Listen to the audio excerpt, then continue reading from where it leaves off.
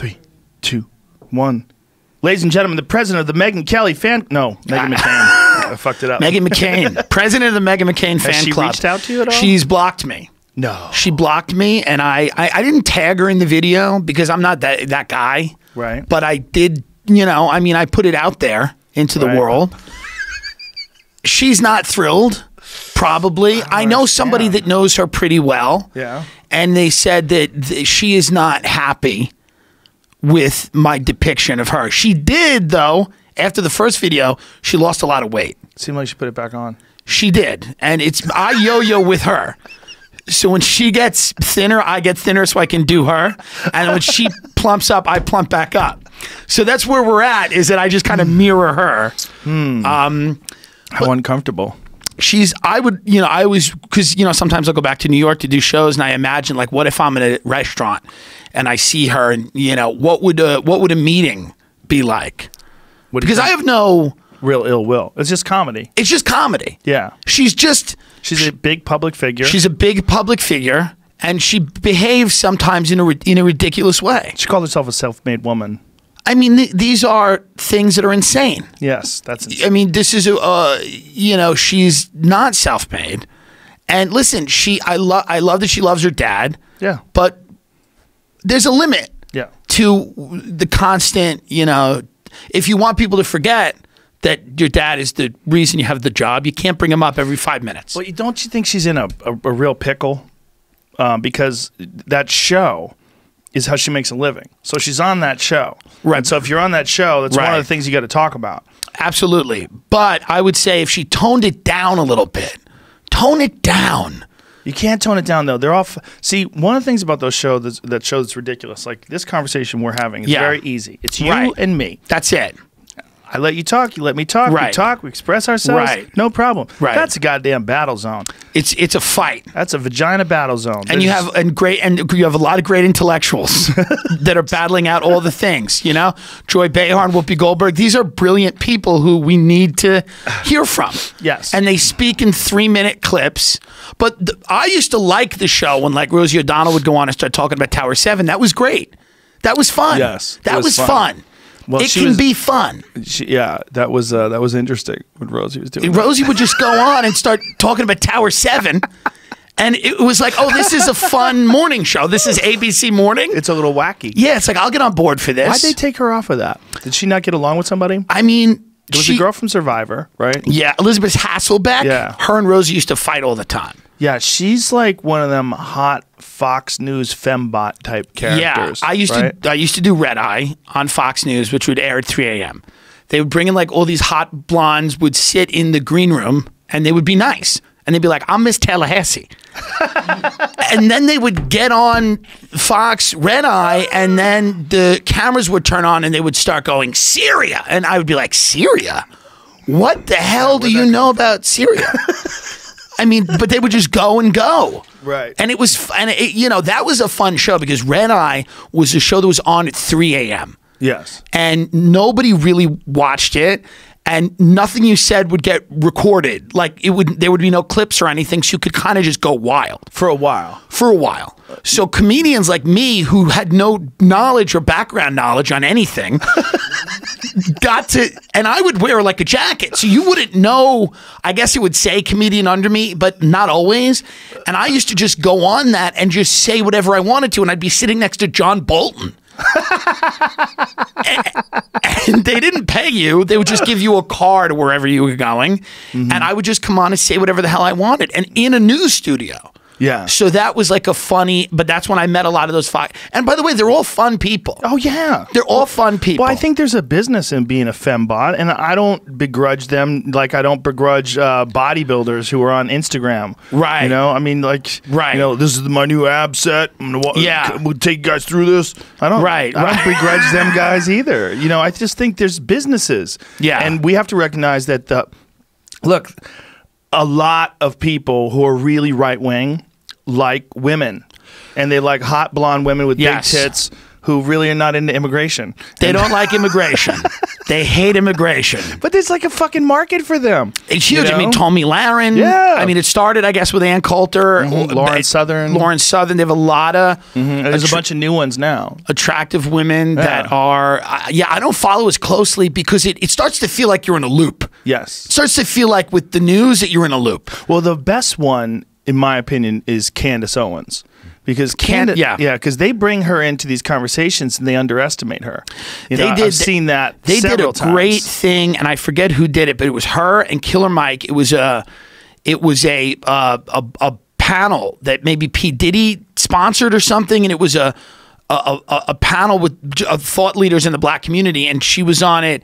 Killer Mike was on it. It was a re- and uh, one of the girls from Black Lives Matter. And it was a really interesting conversation. Candace is very smart. Oh, she's very smart. I don't agree with her on some of the Right. things she says, but she's very it is. intelligent. Here it is. Yeah. Killer Mike adds context to T.I. and Okay. Candace Owens' Revolt sem, uh, Summit. Yeah, argument. Diddy was, I think, in the front row. Just I'm going to Mm. get accused of being a racist. You know? What do you mean you can't? Can't tell the difference. Yeah. Um, and then Candace was also on something recently where some white woman who was a professor accused her of saying something racist, and she shut that lady down so hard. Yeah. because like she was saying, she was laughing at something, and the woman said the woman tried to check her and shame her for what she was laughing at. And she's like, no, no, no, I'm laughing at you. Like Wow. I'm laughing at what you're saying. You should. Yeah.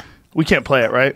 No, we couldn't play it. If we play it, we'll we'll fucking get pulled off of YouTube. But it's uh, it's she shut her down. And there was Yeah. also that uh that Asian congressman. He tried some stupid shit on Yes, her too. she- She, shut she him down shut too. him down. Well, he tried to take her out of context in front of her, like she wasn't Yeah. going to defend herself. Well, it's also interesting Yeah. about people like Candace Owens and people, they just live in a battleground. oh yeah, she likes to go to war. Everything's a, they wake up, Knuckles they, up. They get on Get out of Twitter. bed like, I could never live like that. I'm She such gets a, out of bed like Nate Diaz. Right. She's ready to.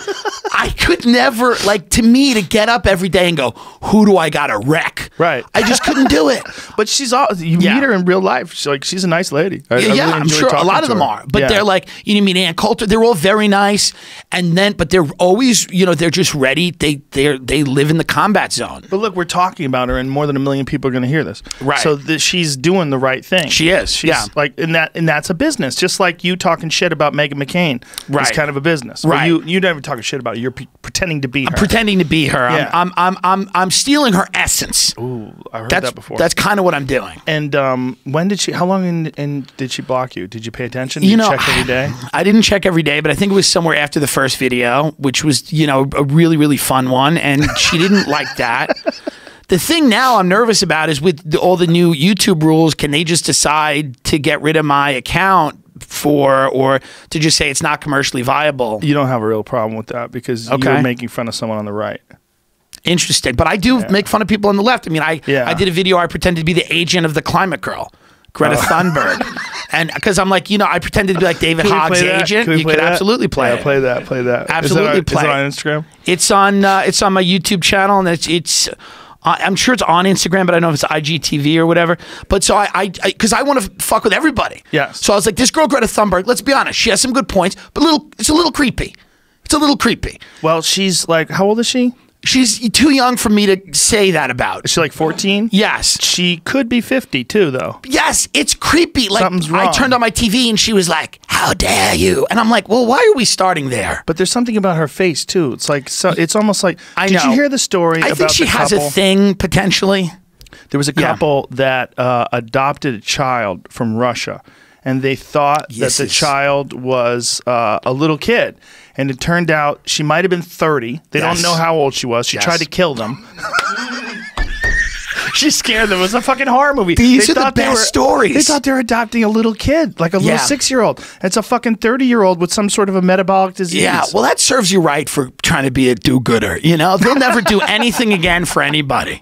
They'll never do one thing. Like the husband will try to bring it up. She's like, "Fuck you, Herman! Fuck you! You almost got me killed Yeah. by that midget."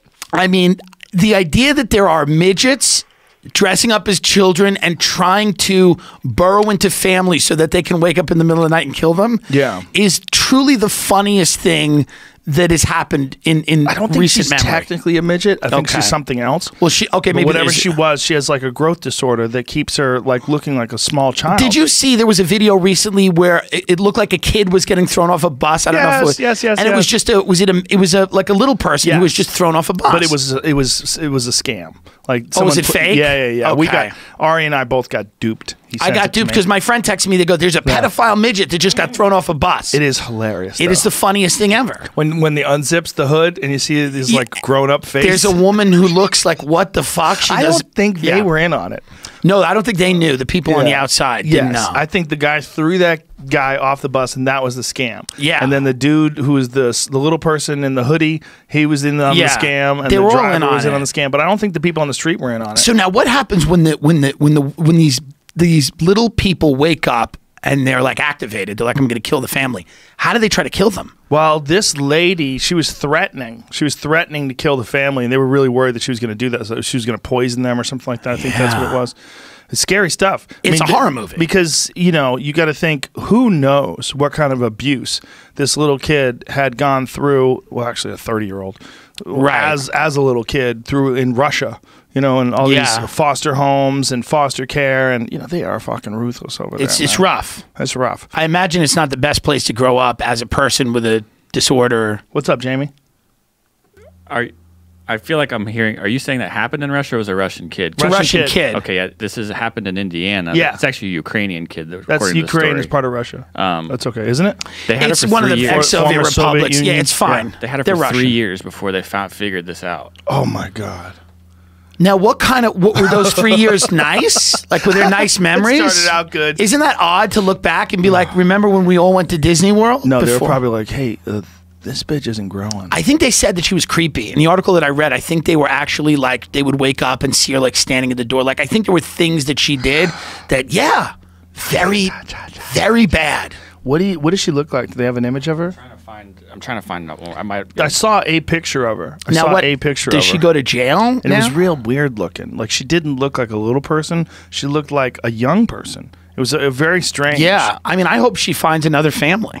I hope she keeps doing this to different families because whatever happened in this bitch's life was so bad that she needs to do this. Let her do it. Gonna do it to the wrong family. They You know, you- feed you to the wolves. You do it to the wrong family. Absolutely. Um, yeah, it's it's.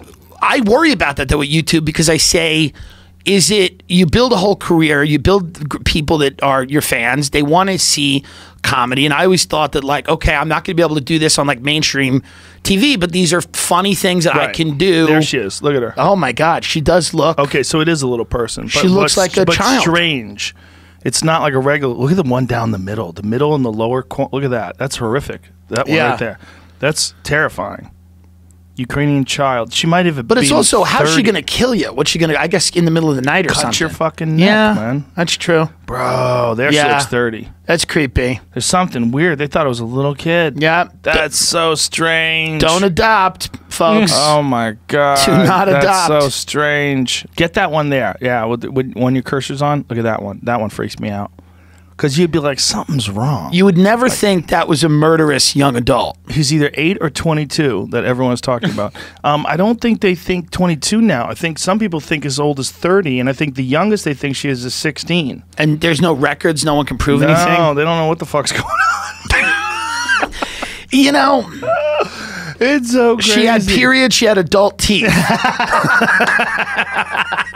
well, Well, guess what? She's I- not twelve. that's an indication that I mean, Yeah. did she never see a doctor in Oh, three on, years? Oh, oh, oh, scroll back up. Hold on a second. Look at this. She had periods. She had adult teeth. Who alleges that after Natalia began acting out violently, attacking a baby boy, pushing Christine into an electric fence, and making death threats, the family sought out psychiatric health. Healthcare officials, including the Barnett's primary care physician who performed a bone density test, and a clinical therapist who treated Natalia, believe her to be an adult impersonating a child. Holy fuck! Fuck. Can you imagine when you're in the doctor's office And getting that and they- diagnosis? They, do a bone density test on the kid, Yeah. and the kid's just sitting there. Yeah. It turns out it's an adult. Can you imagine going in and you're you're ready to hear like she's got cancer or brain damage, and she go, actually, you're you're raising a 30 year old from the Ukraine. Look at this. In 2012, a judge approved the Barnett's application to have Natalia's date of birth officially revised to September 4th, 1989, officially changing her age from 8 to 22. Shortly after, they rented Natalia an apartment. That's nice. and placed her under the supervision of an Indiana state health care provider so she could receive psychiatric treatment as an adult. That's an understanding. and then the parents family. moved to Canada. They left the country, but they rented her an apartment and then left the country. Christine Barnett then moved to Canada with her son Jacob, And they got an arrested. autistic child prodigy, prodigy about whom she wrote. Oh, is that the parent? Yeah, Yeah. It's her parent. yeah. No, the Barnetts. They're Yeah, the Barnetts. Yeah, yeah. They're the, With the her ones who would uh, adopt. her. Right. So Christine's the one that, but she took. So she left the husband and moved Yeah, to Canada. They're divorced now. It's Oh well, that's that'll do it. It's a tough thing for marriage to to survive. yeah. You survive. You rented a, an adult. Yeah, you, You rented, rented an an adult adult for a who couple was years, going to kill you. pretending to be a kid, pushing you into an electric yeah. fence. I feel like they they had a dinner and they said whatever in Oh. our marriage made us think this was a good idea, we should just separate. what do you got? They got arrested for abandoning her in that apartment. What? The story goes further, I believe. It sounds like. Oh my God! 2019 prosecutors in Tippecanoe, Indiana. That's your number one problem right Yeah. there. Tippec- Tippecanoe, Indiana, brought formal charges of neglect against the Barnetts, now divorced. An affidavit of probable cause from 2014, provided by Refinery 29, refers to tests performed by Peyton Manning Children's Hospital in 2013 that seemed to contradict earlier medical reports about Natalia's age. Investigators at the time found Natalia's claims that she was a Ukrainian child who had been abandoned by the Barnetts credible.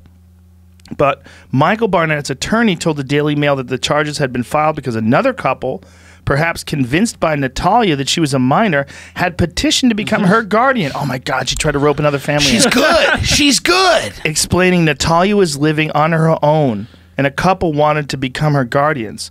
Thinking she was still a child, the couple tried to overturn the 2012 result. So they tried to overturn her fucking age. And, and adopt her again. Despite new tests commissioned by that couple, the court upheld the original result, which maintained that Natalia was an adult. The couple later dropped their guardianship petition once she tried to kill them too. Wow. Now, wh- where is the where, that last part. where is the, where is Natalia today? Where is she? whereabouts are currently unknown. Her Yeah. age remains a subject of much mm. debate. She's touring with Skippy from Family Yeah. Ties. they're, they're, they're doing She's comedy doing- clubs in Connecticut. yeah, she's on the Blues Clues tour. Jesus Christ. She's. I mean, listen. You know, that's a guest. You Yes. want to get a guest? Ooh. That girl. I would have someone in the room with a gun. You mm. sit her on a stack of phone books. I might have You a might gun adopt just- her. I might have a gun You might bring her home. Uh-uh. She might. You. You might fall for it. And you might. You know. She might be riding Marshall around the house. No, I have real kids. Yeah, that's I know true. what a kid is. I understand kids. it is wild when you. Could, do you think could you ever get duped like that? Yeah, you could get duped. Yeah. If someone's really, really, really good and you're tired, yeah. If you work. You're you working. just work too hard, You're working hard. You just drink a little bit. Maybe you're on some antidepressants that make you a little loopy. I wonder if the parents are like, how good of parents are we? Right. That for three years we didn't know that we had a 30 year old psychopath living in our house. Like maybe we're not the best at this. She's got a bush. That was the other thing. Yeah. They found out that she had Full pubic bush, hairs, adult bush, teeth. adult teeth. Ugh, death Yeah. threats. Woo, What death is it? How do you make a death threat when you look like a kid like that? What do you? I mean, it's crazy. Like Chucky. He Yeah. scared the fuck out of everybody. That's what it is. Fuck Remember you. I'll kill you. Dude, Chucky was terrifying. Chucky was really. People say sometimes I look like Chucky, which is not nice. not but true. There that- are- I those people are mean. I agree, but there's a lot of people on YouTube that like to just let it fly. they should- really like to let it fly. You're not supposed to read that stuff. I You're know, but a little too sometimes I do. I don't know about that, but I, You're getting I, a little too famous to read YouTube comments. I read the stuff, and sometimes it's brutal. yeah. And sometimes. I'll answer, like never on YouTube, but sometimes on IG, Instagram, I'll answer and say something back. I one guy said something to me once, and I said something back to him. I went because I looked at his page and it was just his chick holding a bunch of other people's kids. So I said, "Why don't you impregnate your girlfriend so she doesn't have to run around with other people's kids?" so it was wild. And then they deleted my comment. Whoa. Yeah. When he was going after you, He you was going after, him? me. I went back at him. and they deleted you. and they deleted my comment. Wow. This is the world we're living in now. Hmm. Well, you shouldn't. It was inappropriate for me to go to his page. Well, it's yeah, it was, natural, it was wrong, but I did it. It's counterpunching. It's yeah, natural. It was just I was trying to, you know, this is my job. Yeah, you get him. You got to go. Yeah, you're better off. Like, I understand people that are sitting in a job somewhere, sitting in a cubicle, angry. And they see someone like yourself or like me or any and Jamie, I'm sure he gets hate too. Yeah. and they just get fucking angry. Maybe you said something stupid. I say something stupid all the time. Me too. And then they want to come get you, and they want to yell at you or make you feel like shit or say Right. something awful. Yeah. something really mean. And so sometimes it gets ya. you. Sometimes it'll get you. But I would rather give them that. This is what I. This is how I feel. I'd rather let them Let them have it. let it go. Say it. Take your shot. Take, no, but this is how I feel. I'm not. It's not personal. Right. Like I get it. Like I used to be me when I was. I mean, I used to be you when I was uh, young and coming up. But there was no internet to do this. If I had the internet, I guarantee you, I would have said some horrendous, ridiculous shit on Twitter, Instagram, Facebook, Right. YouTube comments. No doubt We all would have. everybody would have. Yeah. I don't want to read them. I don't want them I don't want them to upset me and I don't want to be upset at them. And if I see them, I don't want to know they said it because it's not real. Right. It's not real in that it is their real thought and they did write it, but they don't really know me. Right. And their thought and then a lot of it is just it's fun. It's Sometimes fun I'll just respond to somebody. somebody and they'll go, hey, and they'll totally, like, they'll say something nasty and then I'll respond and then they'll go, hey, just kidding. Uh, Love the podcast. Normal. And it's just like, oh, they just want interaction. Yeah. And that's why they said that I look like a potato skin. Well, they're just fucking people Yeah. are angry, man. Most Right. people's lives suck. Yeah, a lot of people, it's not great right now. No, it's Yeah. and even if it was not not even if the economy's doing better, Right. The vast majority of people are not doing what they want to do with their lives. Yeah. And, and most people at some point in your life have. I'm sure you've had have- jobs like that that yeah, are fucking terrible. Absolutely. We've Yeah, all been there. We've all been there. And that feeling of frustration when you see someone on YouTube, and it's so easy to just say something gross and mean. we all do it as comics, you know. Yes. uh, you know, we because we'll see somebody, we'll see the trailer for somebody special or whatever, and we'll be like, Ugh, you Yeah. know. Oh, yeah. And it's like, why we, we shouldn't be focusing on that, but it's too much. It's a lot of fun yes, to commiserate with people yes. in the shared hatred of something. And when someone's doing well, like yourself, your videos Yeah. start picking up a little steam. Yeah. People start recommending it. It's it's fun to shit on you. Yeah, Bring absolutely. you down. Fuck him. He's Yeah. not funny. That Meghan McCain doesn't even sound like her. Yeah, yeah, yeah. That's true. My favorite comment is just when someone will write, "He's fat." That's my favorite comment. Someone will write, "He's fat." Three hundred likes. Thank you. I appreciate. I appreciate that. He doesn't even sound like her. Right. Yeah. That's a terrible impression. Right. Sounds like him. Right. Yeah. I went to see. Uh, well, I, I was working with uh, Otto and George way back in the day. Yeah, Long Island And, guys, uh, right? Oh yeah, yeah, Yeah. And we were uh, we were working at uh, uh, Dangerfields in Manhattan. Yeah. And uh, Joker. some lady, he's you know he would Otto um, had a puppet named George, and he would do the you know the he would work the puppet, and the puppet would say fucked up things, and Otto would be like, "Hey, how are you saying that? That's terrible." and uh, I remember this lady going, "His lips are moving." Right. Because he didn't even try. he, didn't, yeah. he was like the worst ventriloquist. Yeah. Like he was never trying to just do that. He wasn't trying to do that at all. He moved his lips, and she couldn't even concentrate on the jokes. Yeah. the puppet was saying the most horrendous, fucked up, ridiculous jokes, and she was like, "His lips are moving." yeah. It's it, it- yeah. They were they were amazing, man. That, that to me is like so funny how somebody could just key in on something like that while the entire audience is laughing and having a good time. Everyone's having a great time. His lips are moving. It's they- not real. Yeah, right. she thinks she's focusing in on the important part, and This that everyone else is wrong. Right. Yeah. The other 300 people that are dying on the floor are wrong. Look, look, look by his mouth. You see lines. The mouth We is on want a a hinge. The Yeah. mouth goes up and down. You can see where the lines are. It's not a real mouth. I love it. That's fake. I mean, it's tough. You know, you what we do, and you know, you're obviously in the, the the big big venues now. But like when I, I was just in a club this past weekend, and it's like it's an interesting time in the country to get a bunch of people in a room, pour alcohol all over them, and just let them go. Yes. Because uh, uh, no matter what I say, if I say Trump, or if I say, and my act is not political, but I'll, I'll mention things that are going on. There's jokes. Yeah. And as soon as I say Trump. Some of the crowd will go woo, and some of them will start booing. Yeah. and I'm like, yeah, and I'm like, guys, that's not this. I'm just here to make a joke about Yeah. this. Yeah, yeah, yeah. So this isn't a rally. I'm not taking your temperature. It doesn't matter. And they just they're hammered. And they're ready to just let you know where they're at. Yeah, You know? well, it's just like a it's a weird time for discourse. It's a weird time for for people shouting things out too, because people think their opinion is more important than it's ever been before because of social media. Right. People are used to expressing themselves. Right, and I mean, uh, and, and some crowds now. I mean, I think there's just a uh, you know some perverse pride in like kind of putting you through it. Yeah, you know, little where I'll be like, "You guys are animals. You're fucking animals." There's Yeah. like huge applause break. we got you. You know, I was like, "Where did they hand out tickets to the show? To an urgent care?" You know, they love it. They're clapping. You know, Yeah. So Well, they're looking for something that's different than most of what you're getting on television and in websites. Yes. You're getting this fucking politically correct woke nonsense. Right. And, and people are rejecting it. Look, Yeah. Charlie's Angels, fuck you. Terminator, we don't want it. fuck you. Yeah. Get woke, go broke. Yeah, that's what it people is. are saying now. They're And- like, they're done with it. Yeah. People are done. Yeah, people are sick of it. And the, this business, people don't realize the business we're in doesn't have a soul. They don't care. So eventually it's going to swing back the other way. Oh, yeah. Because Money. they, yeah, it's money. Yeah. Joker did great. Yes. These things do well. yes, and that's a fucked up movie. It's a fucked up movie and it was great. And I was think great. That, I mean, you know, look at Roseanne. Yeah. 25 million people tuned in to the premiere of Roseanne. Do you know how much money that must have cost ABC to fire her for that? A lot. It was Yeah. so dumb.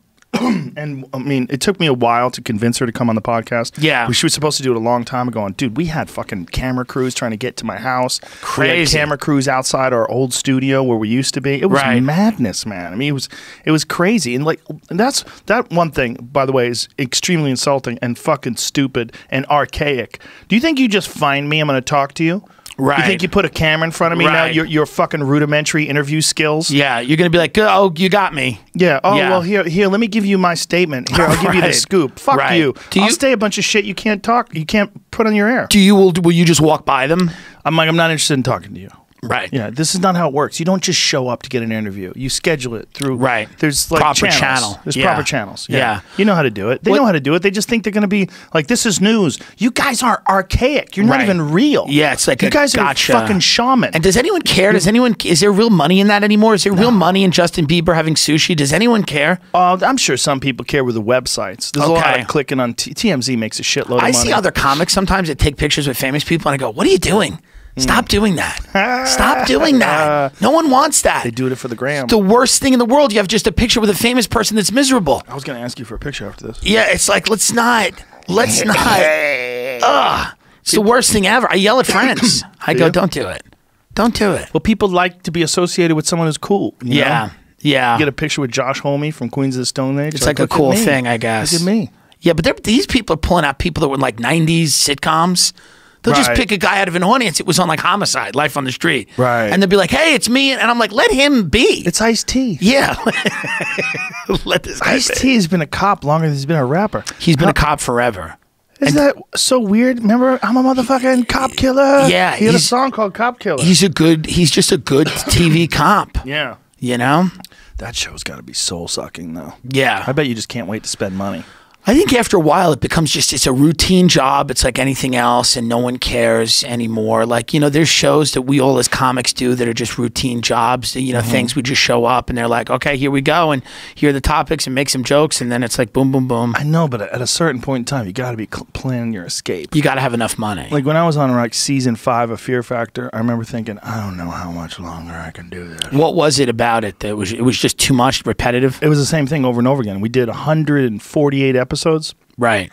It was just after a while, it's just like Jesus Christ. How many animal dicks can you serve people? Right. How many times can you throw them off buildings? Yeah, yeah, it's enough's enough already. It was just. Um, There's no amount of money to get you to come back to do that or something like that. I did come back in Right. 2011. I came back, but I didn't have as I, I didn't have as much money back then, and also it was a lot more money than I got the first time. It was like a big deal because they were good. Well, I think it was. I don't, I don't. I honestly don't remember about the money part, but it was a big deal that it was going to come back. But I immediately regretted it. Like immediately, I was like, "Oh my god, I have a job again." The Yeah. fuck did I do? But I had, I was just having children then. You know, like yeah, and uh, you wanted to yeah, my Yeah. kids were real young, and I was like, I need like, when you have a kid, I had an older daughter, but I was already paid for most of that. I couldn't. Do you have to think about two children, and you think about two children that are like at the time two and one. you're like, oh my god, like this is um this is serious. Yeah. like you, I have to make You have 18 years. Yeah, I have to make a Yeah. lot of money, and then I think like all the money I squirreled away from the original season of Fear Factor that took care of my family for a long time, and it'll probably be okay. but I felt like this overwhelming responsibility to squirrel away more, more money. More and more money. But then once I started doing it, I was like, oh my god, this is a mistake. yeah. This is a mistake. You're like, this is crazy. I'm like, I don't like it. It's Yeah. And then we got canceled because we served people jizz. Was that the final straw? Yeah. We And served, that- they, they had to drink donkey cum. And that was it. That was too much. That was it. Interesting. TMZ saved me. That was when you had the moral majority back then, and they would. This was a problem. Like Well- that's when all the censorship came primarily right from like right wing groups. Um, sort of, yeah, Was it like because it, was the Obama. Was it the the Obama administration? Oh, this is the this is the return. Okay. But what it was was um, the show had to get more and more extreme, and it was very dangerous. Like it was freaking me out, Right. Because um, they were taking a lot more crazy risks. Like one of them, you had to uh, uh, you had a, a set of keys. And you had your partner was handcuffed to a tree, and they were attached to a bungee cord that was attached to a fucking helicopter. Okay, and the helicopter was had this bungee cord taut, and they're flying in the sky above a giant canyon. I mean, way the fuck up there, right? So you got these keys, and you're working these keys, and the idea is the first person to get the key lock open, right? You unlock the thing, and then pshong, the person Jeez. goes shooting into the sky. And I remember seeing them going, "What if something snaps? What if something breaks? What Yeah. if we watch someone fall to their death? Like, what the fuck are we doing?" You know, you just have a bunch of executives going, ugh. They just make a face. You know, they would just go, ugh. Yeah. Not great. I had a joke about it that they were going to kill us all and then gun us down and then blame it on the terrorists. And like, Right.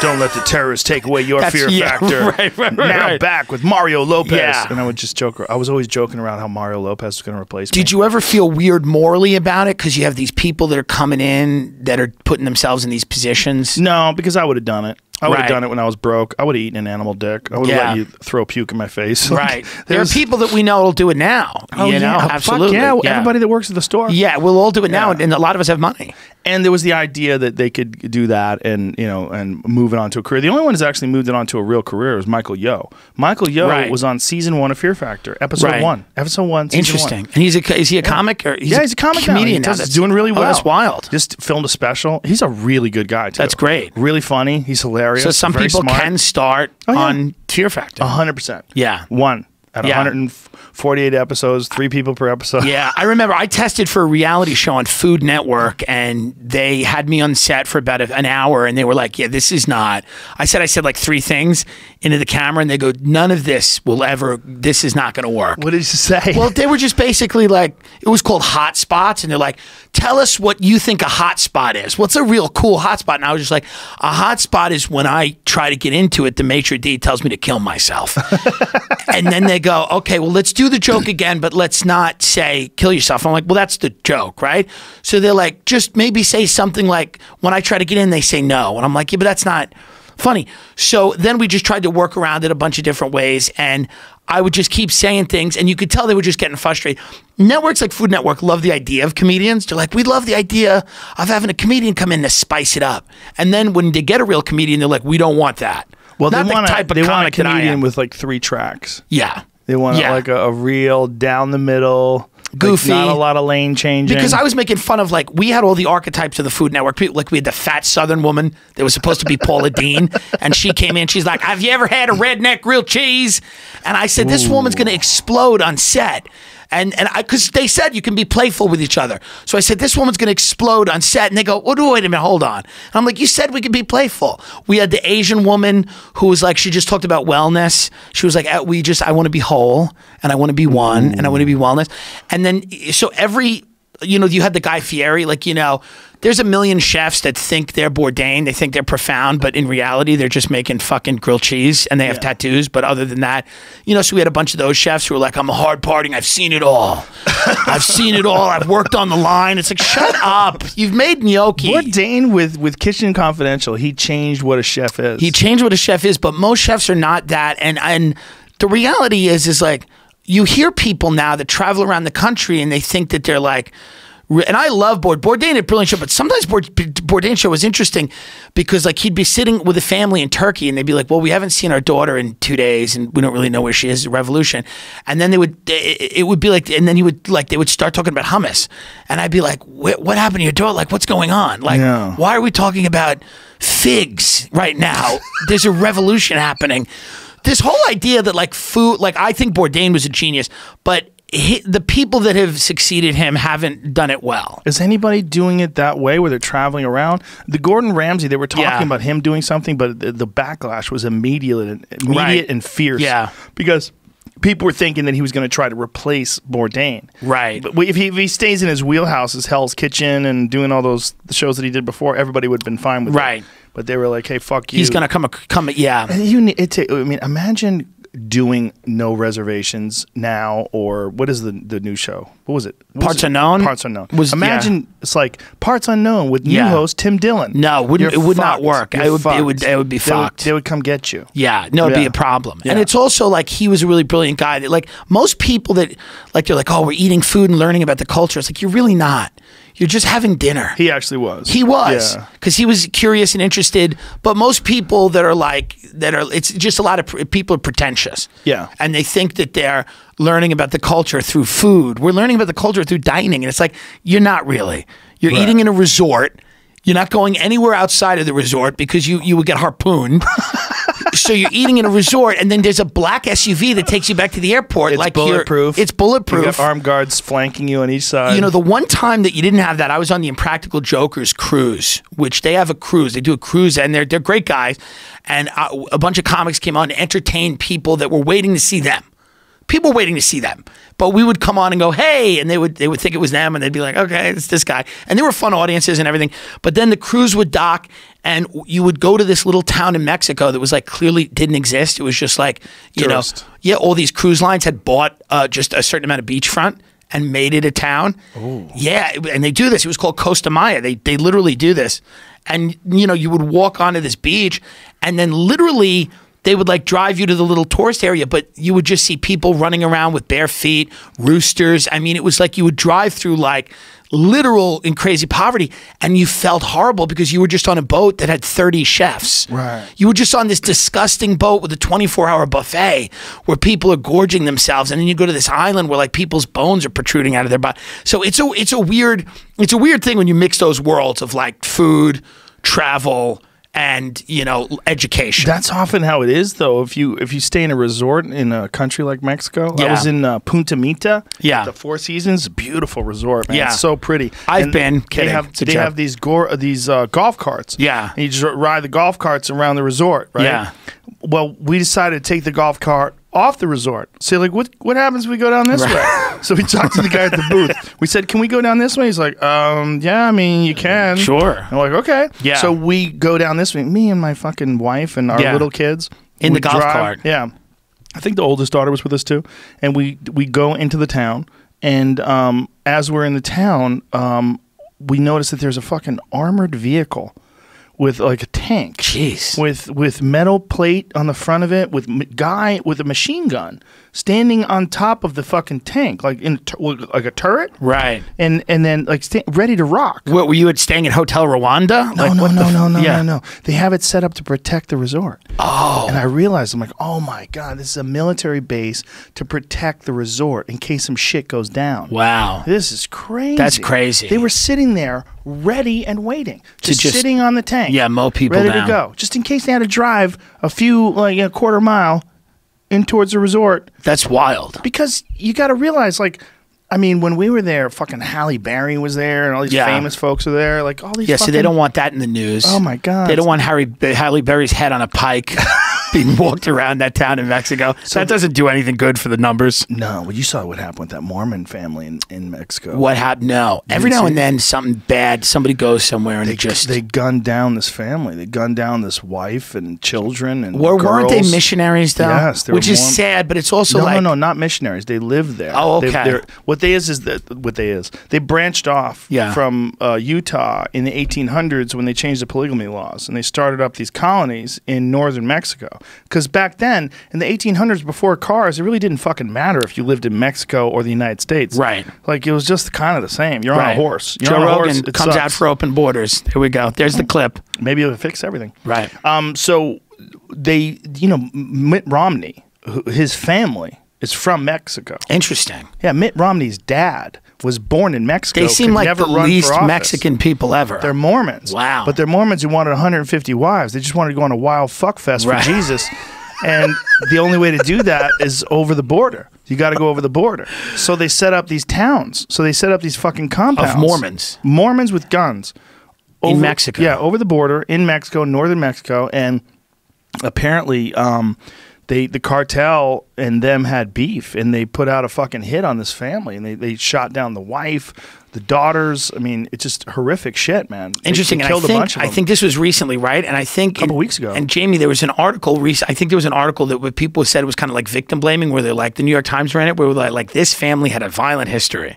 Oh God, did they really say Yeah, that? there was a New York Times article about this family. I, I'm remembering it now, where they were basically like, this family's had a vi- long violent history, or their name has been synonymous with violence, which is an interesting article to write. You know, right after they were massacred. Well, sometimes you read articles that are written and you just go like, do you remember when Baghdadi died? And Yeah. they, they killed Baghdadi, and they they said um, there was uh, a Washington Post called him an Astur religious scholar. That's hilarious. You're like, uh, Yeah. he's the fucking head of ISIS. They threw Right. gay people off the roof. Right, right. Yeah. It's also weird though that we're. St- I don't even like when they're like, "We killed Big Daddy." It's like, who's Big Daddy again? Big Daddy. Big Daddy? Who's this?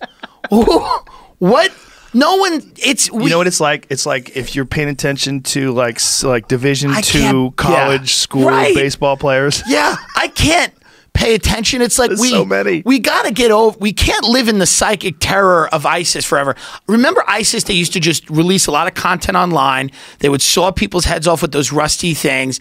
It looked like they were doing it up the block in a warehouse in Studio City. To be quite Mm-hmm. honest, I'm sure they were. I'm sure that CIA wasn't doing that. But it was a little weird. Like uh, these videos would drop, and then everybody would be like riveted, and then they would just start beating the war drums again. They'd be like, "It's time Yeah. to we got to go to war. Look at look at these people. They're doing horrible things."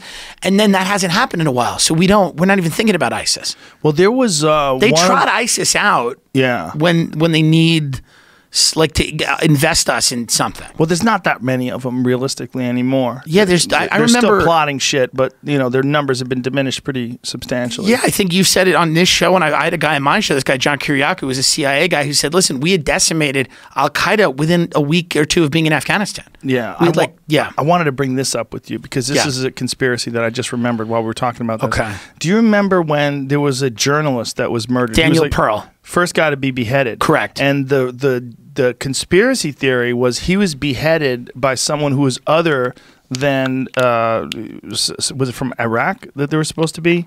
I believe so. Was it Taliban that supposedly did it to him or some other sect? I, I'm trying to think. I don't think it was a Taliban. I think he was in Daniel Pearl. I think was in Iraq, right? He was in Pakistan, Pakistan.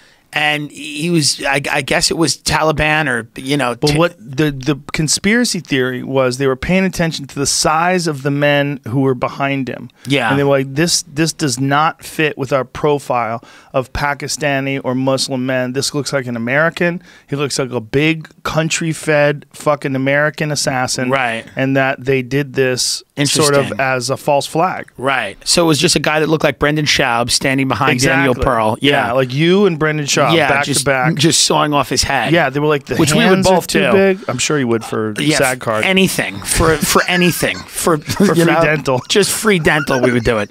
But they they said the hands were too big, like the guys were too Um, Well, thick. I mean, remember all the photos of Bin there? Laden? A lot of different photos of Bin Laden Oh, popped up, and it it was like nine different guys. Yeah, It, yeah. it really did look like it was like not the same person. Nobody in the SEAL community has ever given me a straight answer whether or not they believe the official story. Well, they all died, right? SEAL no, no, Team no. Six No, no, no. The guy who killed him is Is alive. been- yeah, he's But been on tour. Aren't a lot, didn't a lot of people in SEAL Team Six die? they in a- died after in a- that in a crash. Yes, yeah. yes, yes. I mean, it's odd. What are you saying?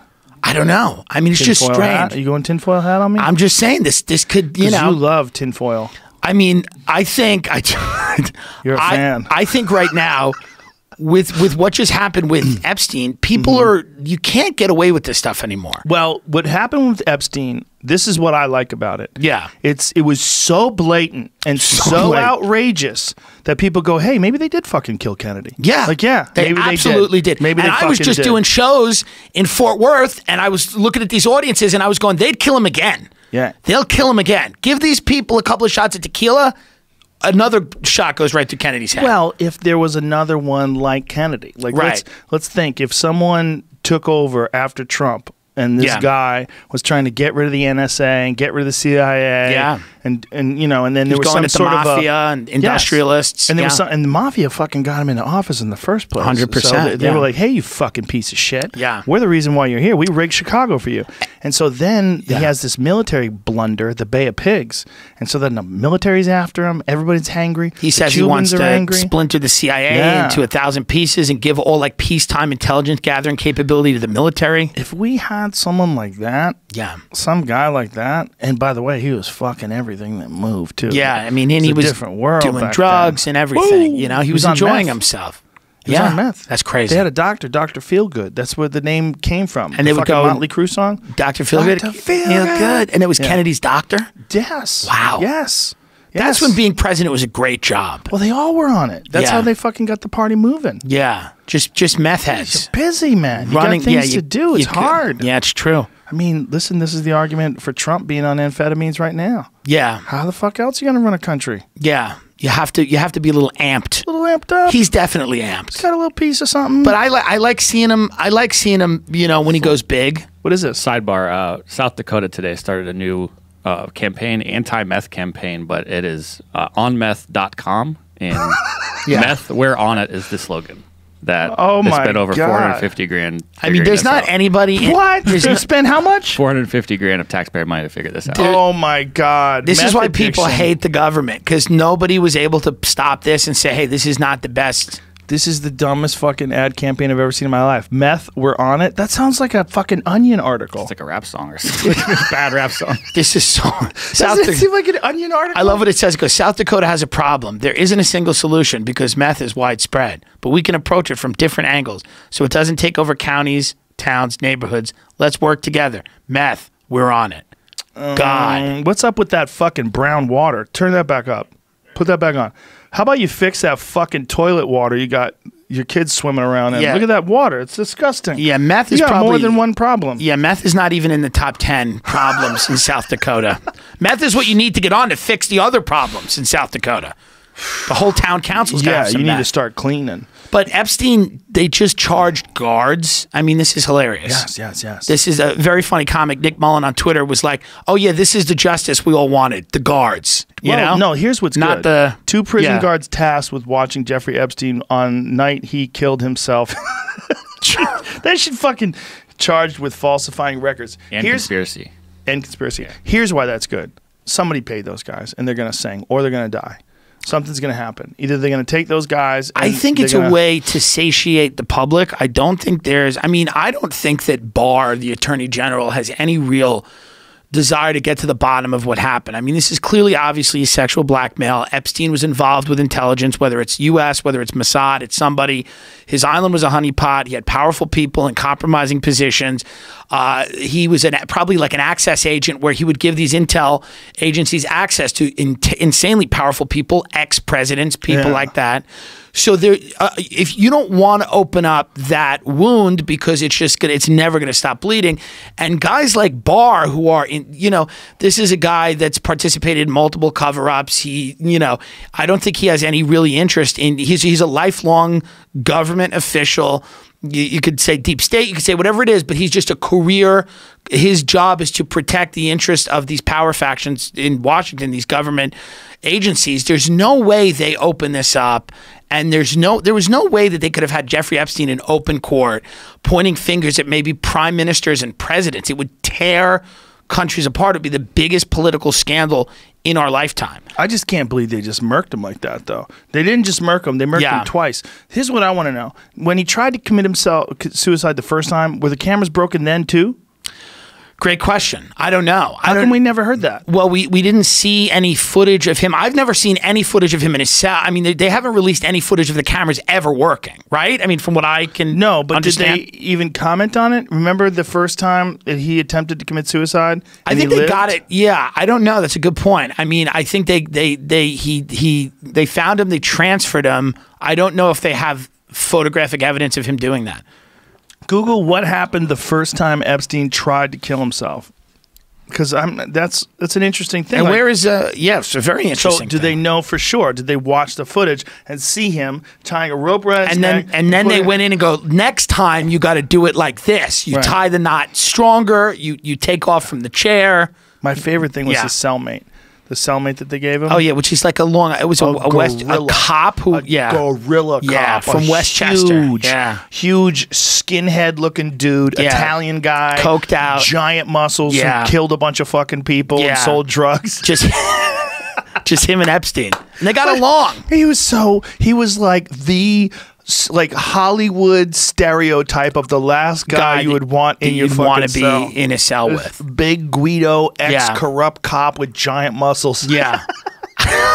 it's This is monster. and connected to the law. I mean, it just Yeah. like if that's the guy. I mean, that would be the guy that maybe he's the guy who killed him. Who knows? I mean, he's a giant fucking guy. I mean, guys like that, I'm sure would take a bribe pretty easily, and they, Oh, and, and those guys don't open their mouths, you Just know. for fucking cigarettes. Yeah, why not? Yeah, I mean, he can't open Just- his mouth. He's in jail. Right. Right. They got him locked up, and they go, look, And who knows? And like, listen, if Tommy, they come on, right, Tommy, do this. Tommy, And you were here forever. You, You- like killing people. I think they got to watch the. I don't know if they can do this, but they got to watch the bank accounts. Now, obviously, the people that are paying off people are pretty smart. Yeah. There's ways to hide money, but somebody got paid off substantial amount of money yeah. somewhere, somewhere. They might not have. you don't think so? This is a weird one. Like this Yeah. one. This one involves so many people.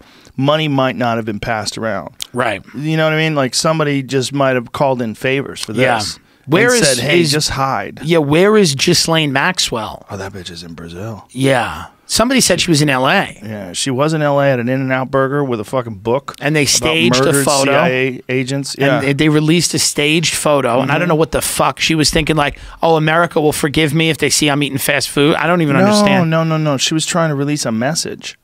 Oh, okay. Yeah, she was reading a book About- about, CIA agents that had been murdered. Yeah, but what's the point of that mess? She was trying to say he's a fucking intelligence agent. Right, yeah. You know, that was yeah. something that was actually said by was it one of the attorney generals when they were prosecuting Acosta, his initial Alexander initial- Acosta yeah. said Epstein would belong to intelligence. Yeah. Well, if you just look at this has happened. is.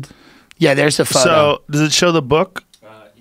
There's another photo. I think you can see the side of the book, Okay.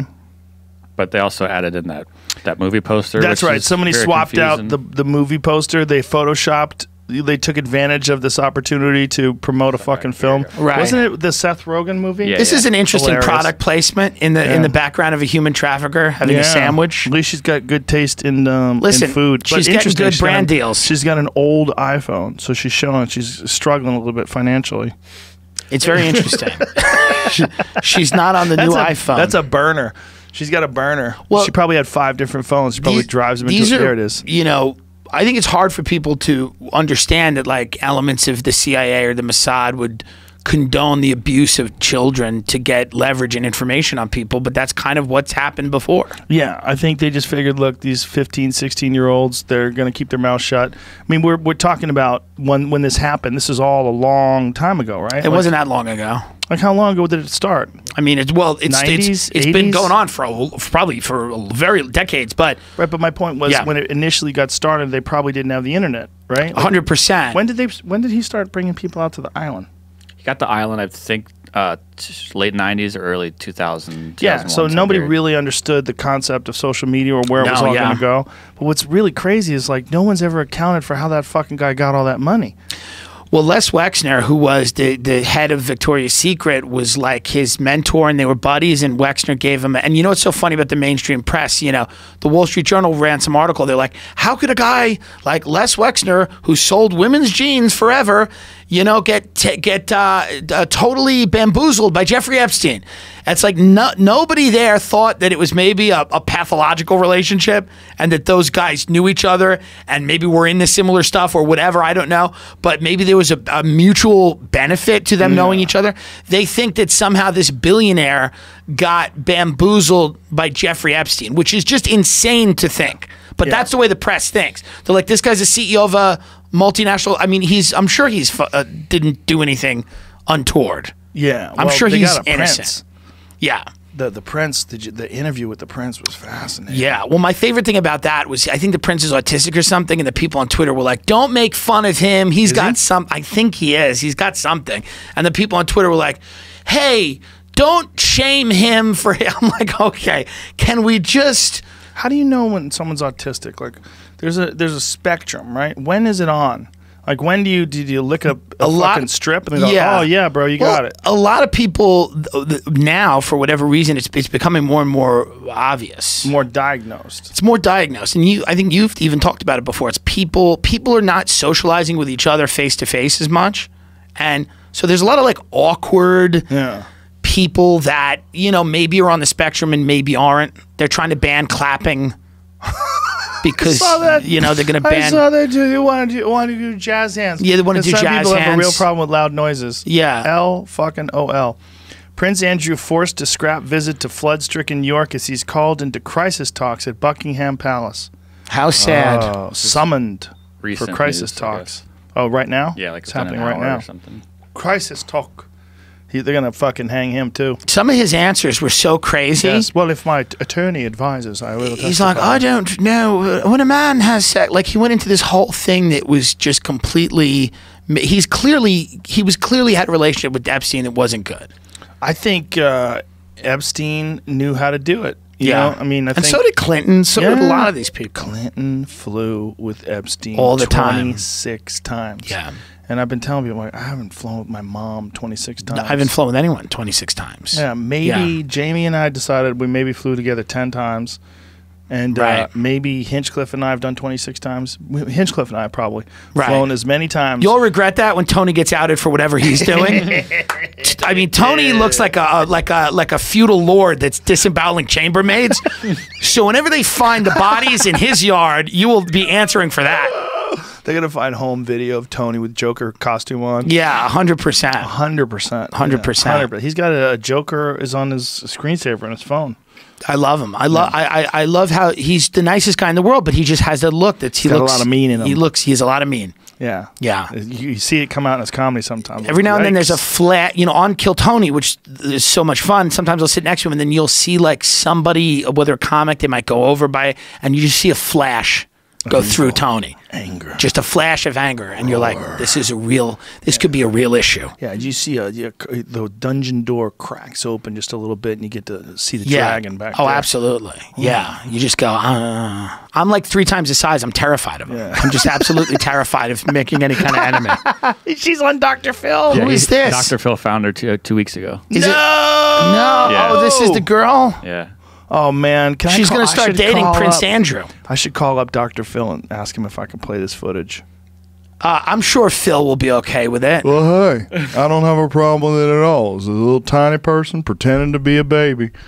Yeah. What did she say when he talked to her? She said it's not true. What did she say? She's really a baby? That, that uh, I want people to hear my side. They say that you scam. This is Phil talking. They say you scam them, and she says it's not true at all. Okay, but what did she say? Scroll down a little bit. What what did she say here? Natalia now lives with another Indiana couple and their five children. LOL. The man's family, according to DailyMail.com, blah blah blah. Ordained pastor. Oh, they suckered him in with Jesus. We're all. Were you at all concerned at the time that we could be putting the children in jeopardy? McGraw asks the the family. We're supposed to help, the family says, blah, blah, blah, blah, blah. They just so happened to come across this person that was not being treated right and cared enough to put the effort to make sure that something was done about it, she said. They're suckers. They're going to get busted. Yeah, I mean these They're are gonna- they're- these are this- people that deserve to be killed.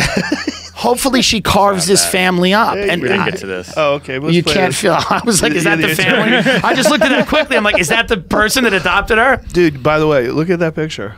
Well, this is an It's LA great- agent that great look. represents Greta Thunberg and all the crisis kids. That- That's a great look. Child activists. I do hang around tragedies looking for kids who have it. Greta, baby, you killed it at the fucking UN. You're an animal. Why are you crying, honey? Oh, okay, no. Are there cameras on you? Keep crying. Throw yourself on the floor. Throw yourself on the floor right now. Malala left me for a competitor, and you haven't heard her fucking name in two years. Who's Malala? She's a girl that got shot. again. David Hogg won't take a fucking meeting. I've sent 30 pairs of sneakers to his dorm. Jesus Christ. Tell Malala she's got to come out as non-binary if she wants heat now. That's the way it is. Nobody gives a shit about landmines anymore. It's all climate. Climate is sexy. Climate and guns. Clean water? That hasn't been hot since the fucking late 90s. Do people even fucking drink water? Wake the fuck up. I got the Covington kids and Nathan Phillips on a reconciliation tour opening for Lizzo. Who is it, Emma Gonzalez? Don't put her through. She's fucked me for the last time. Oh. I had her booked at Davos. She got sick. You get sick? At Davos? We got a new version of the Paul brothers from Syria. They're fucking hilarious. They do pranks. One of them's missing an arm and they, they have fun with that. It's great. We got a kid with a cleft lip, but he's cute. I want Hogg at Madison Square Garden. People are turning in their guns and crying to him. They're handing their guns over to him and they're crying. Yeah, this is just Jason. Again. I'm calling for David. Yeah, just let him know that I called. We actually sent some stuff in the mail over if you could take a look at it. Just a few sneakers and. Okay, sure. Yeah. we got a kid right now. He has no limbs. He is fucking hilarious and he does a whole bit about the refugee crisis. You have no idea how hard this kid is gonna hit when he hits. Do you understand? No limbs. We walk him out, we put him in a seat, and he just fucking goes, man. He just goes. These kids will own you one day. I will make sure of it. They will fucking own you. I got a three year old from Iceland named Gunnar. He loves economics. He's talking about debt peonage. I got him at the World Bank in three weeks. Fuck you. So I mean, eventually YouTube's gonna go. We're not this. We're not participating in this. Are you worried about that? I know. I think I am a little bit because Gavin McInnes is still on YouTube. I know that's true. That's well. That's who I I want to be. your canary in the That- coal mine. Yeah, that's that's. I like- Stefan Molyneux, he's still on. I appreciate this. Thank Yeah. you. Yeah, no, I mean, listen, I like Gavin. Gavin's a nice guy. But the the reality is I think that YouTube seems like they're done with like small creators. My channel is pretty small, Tim Dillon show. It's not a huge channel. Let's make it bigger. Let's make it bigger. Tim Dillon Show. Tim on Dillon Show YouTube- on YouTube. Please on YouTube. subscribe. yeah, so uh, that when they get rid of it in a month, I can I can at least get mad about send something. positive comments only, even Yes. if they're like sarcastic. yeah. They'll be somehow the positive comments you will be worse. great. Yeah. You don't look fat at all. I mean, so we do these videos. They're a lot of fun, Yeah. and you you know they, we can't do them on network TV. They're not going to allow us No to do chance. it. No way. No it's not going to happen. Yeah. Well, what is he at now? Eighteen thousand subscribers. Yeah, 18,000 Let's see if we can get that bitch up to by the end of the. Yeah. Well, thank you. I appreciate. it. I mean, these. my pleasure. I thought I would be able to do this stuff on TV. Eh, Th- What? yeah, that's not going to happen. No, but it's better this way. You don't Yeah. want anybody telling you what to do. You, Right. You, can't. The, the, your style of comedy, that Meghan McCain thing, is Yeah. fucking hilarious, and there's Right. no way. Yeah. I only fuck daddy. Yeah, they're not gonna let me There's do that. Not a chance They in won't. hell. I, I- play, I played that on this podcast at least four times. You've by you've played it for like doctors. You've played it for like people that Nobel laureates. They're like making a point. You're like, you you seen Tim Dillon do Meghan McCain? People are like, what? People are like, I have five Pulitzer prizes. You're like, take a look at this fat guy yell about his wanting to fuck his dad. I wish we could convince Meghan to just like just just. I thought it would be funny because I want I'm, I'm headlining Caroline's in March in New York, and I thought it'd be funny to shoot a promo where I show up at dressed as her and just sit in the audience of the View. I thought that would be funny, but I've been advised legally that that might not be the best course of action. Yeah, Whoopi Goldberg will stab you. Yes, Which you need but that's a great promo. Whoopi Goldberg stabbing me as Meghan McCain, and Mm. then just Tim Dillon. Yeah, she probably might stab you a couple times before she gets tired. Yeah, You know what I would uh, what I would think would be amazing is you in the uh, dressing room, the makeup chair, Yeah. getting turned into Meghan McCain, and Meghan McCain walks in and beats the fuck out of you. that would be great. Is Yeah. she down for it? Is she this- cool? This is how they tortured my dad in Vietnam, and they they fucking she gets you in an arm. Listen, the only person that could make that happen is you. Mm, I don't think so. I don't think I could. I, I think you're the only guy. I think you got to get Tomi Lahren on the phone. I, that might be, that's actually another point. Well, yeah. Who else? What, what else are the are the fembots? How many? I don't know. I don't know too many of them. But I mean, Me- Me- Meghan is. Here's the thing about Meghan. She, I, I do respect how much she is always willing to be, you know, like annoying. Did you see the thing with her and uh, Donald Trump Jr.? Yeah. That was heavy. Like him going on the View was heavy. It's like, wow, what? Why? What, that And is- all these idiots are like, fire her. It's like, you can't. That's the show. The show is the- the drama. show- well, this is you the only dummies. way it's any good. Is if they're. Right. you, do you want to hear their real opinions about stuff? No, I want any Rosie? O'Donnell back talking Rosie. about 9 11. Well, if you want to get back at Trump, you hire Rosie again. Yes. Because That's Rosie a great and Trump idea. fucking hate each other. They hate each other. They fucking hate each other. He, I mean, he would go on TV and call her a loser. Yeah, they would just. There was a when I grew up, that was a feud. Yes. Like as I was growing up, that was a feud. It was Rosie O'Donnell and Donald Trump. when he he did it on Twitter, like right after he won, he was talking shit about Rosie. Well, it was the big uh, thing with Megyn Kelly. She was like, "You've called women pigs, this, that, and the other thing," and he goes, "Only Rosie O'Donnell, yes. only Rosie O'Donnell," and it got a huge pop. Oh, of A course. huge pop. Yeah, look, he's fucking funny. He knows Yeah. how to be funny. What is Megyn. Kelly going to do? What's her comeback? Well, she wants to do a podcast. Yeah. And they actually contacted me about coming her coming on here. I think she- Interesting. She, wants to do I mean, look, she definitely could do a podcast. Her comments about blackface were, were I get that they were tone deaf, but when you watch it in context, it's weird that she lost her job They were trying to get rid of her. for the way she said it. it's a good question. She's like, why Right. can't you pretend to be someone who For a you admire like Diana Ross? right. It's not a bad question. The problem is you can't you can say that on a podcast. I just did. Why can't you? Right. You can't you can't get fired from a podcast. Right. But she what she didn't understand is how they were going to use that to attack her and then she has this fucking apology video. It looks like there's isis guys behind her with a fucking sword to her neck. And it was crazy. It was a goddamn hostage video. I saw her the- i'm sorry. the week she I was not yeah know. I did not uh, the week she was leaving fox i was again i was in there doing red eye. I saw her. She knew she was kind of doing the wrong thing she was sitting in the makeup chair she just had this weird energy you can't go from fox to then being america's sweetheart on nbc well in the morning Well, she did and she didn't pull it off but she did make 60 million It's a lot of money. she could tell everyone to eat her ass for 60 for the for the end of time. You Yeah. have sixty million dollars. You it's don't have to good do shit ever point. again for the rest of your life. that's true Her kids are safe. She's They're safe. set. They're all set They're up. set. Yeah. I would, I would tell her to do it too. Right. Fox is not going to give her that kind of money. Right. That's fucking money, money, money, money, money. big money But it's not as much money yeah as Bill O'Reilly paid out gals.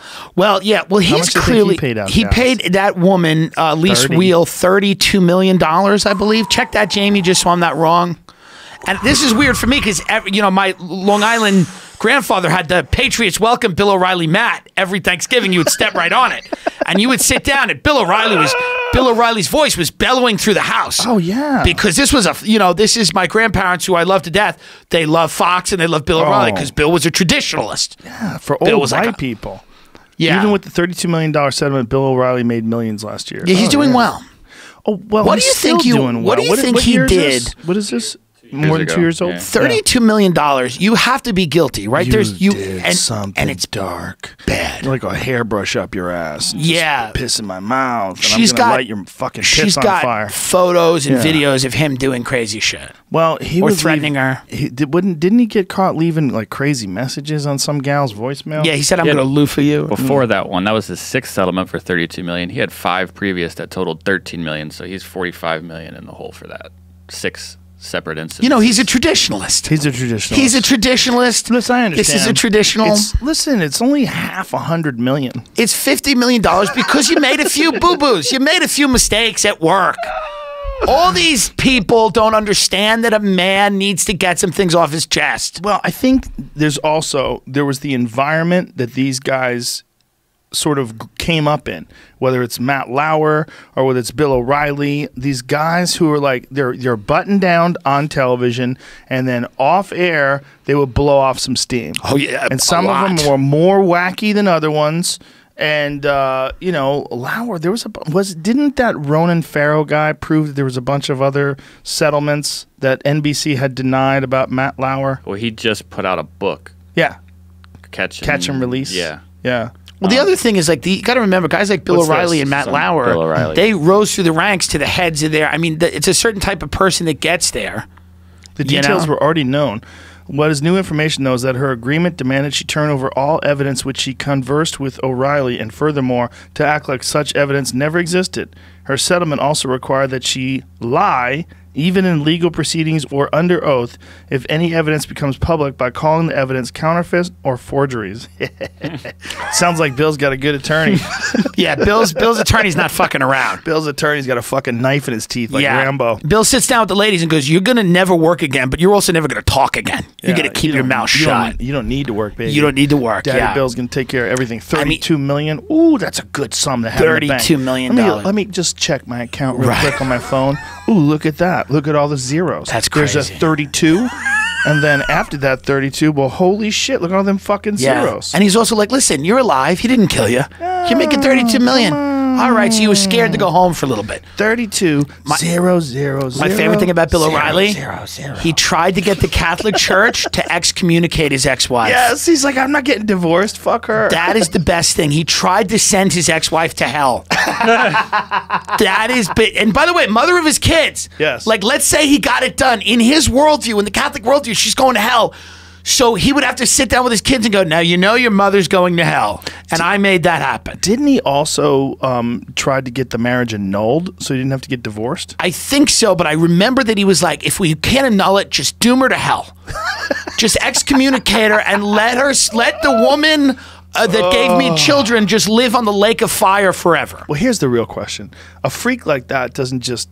I mean, he was a freak deep into his 60s. And he's still a freak now. Yes. He's still a freak. People So don't what's he change. doing? That's what I I'm don't saying. know. What's he doing? He's. I think now it's there's a lot of NDAs, which there should have been back then. whatever. They need Yeah. to break those. How Yeah. did he not get caught up in Fuck Island?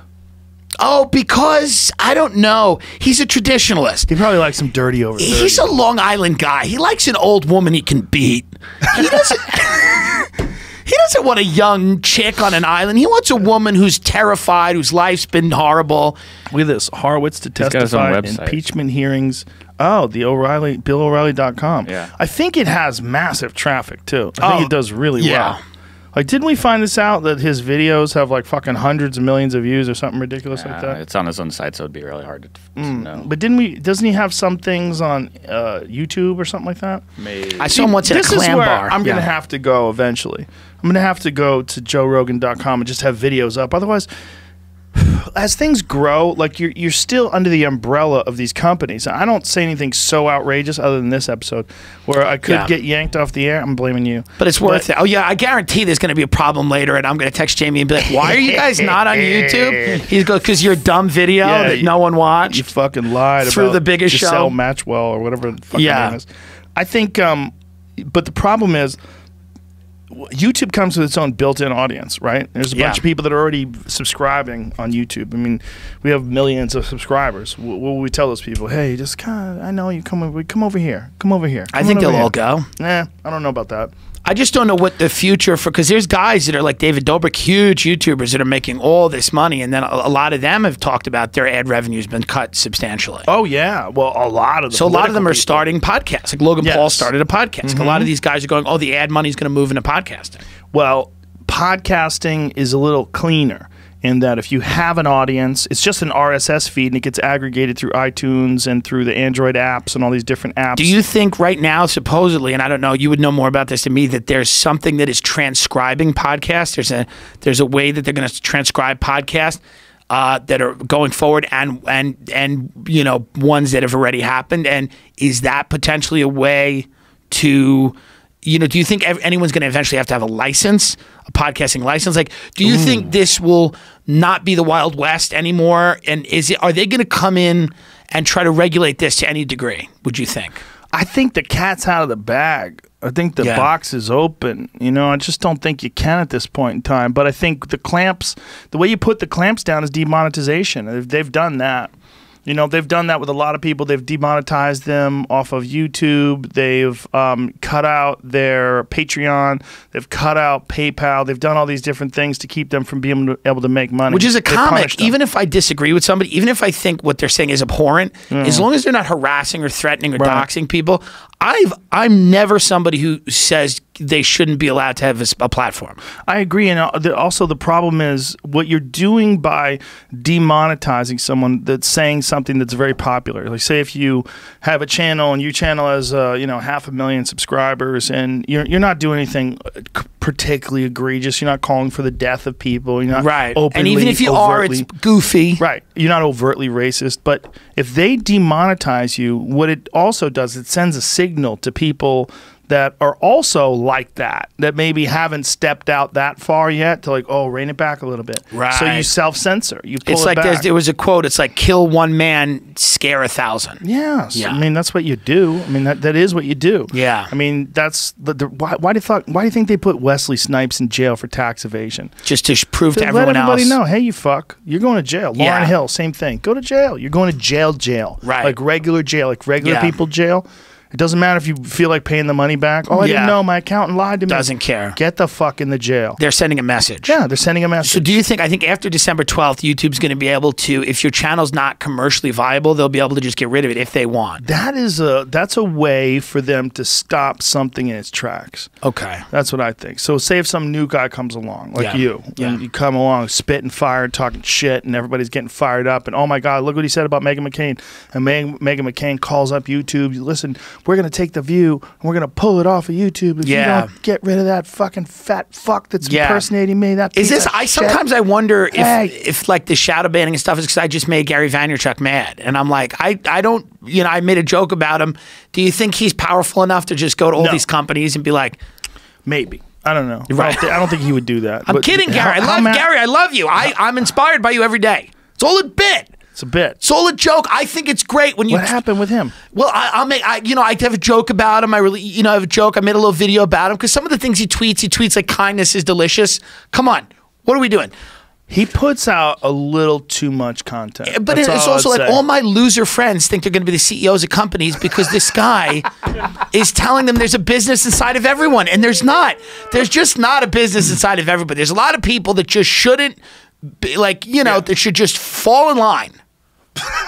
Fall in line. We don't need uh, everyone thinking that they're going to be the next CEO. Right, but he's got to send the message out there as if everyone can be. That way, the people that are listening and get it, the people that get it, like they're like, okay, he's saying everyone can. That means me. I'm going to go for it, and then they make it. and I appreciate him doing that, but I need to send the message that most people can't. a lot of people can. So in the same way that he has a message, I have a message, and my message is you're not it's not going to happen and he mm. has the but it's also there's no specific guidance with a lot of these guys, not only him, but he'll say things like you could talk about it or you could do it, but you better do both. And it's like, "Well, what's the it?"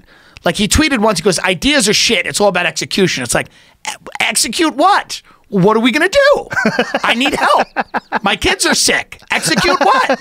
Can you text me? Do I meet you somewhere? How do we start this? How do we build these businesses? Are we gonna do it together? why do you think he got mad? He got mad.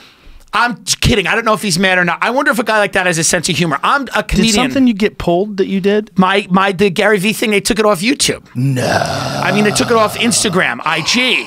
No. And I bet he walked into a room with a bunch of guys in little hoodies and he was like, get this fatty. And they did. And I'm not mad at that because I respect power. I respect power, Gary. I get it. I'm just saying, I'm a funny guy. Me and you will do a podcast, Gary. It's fine.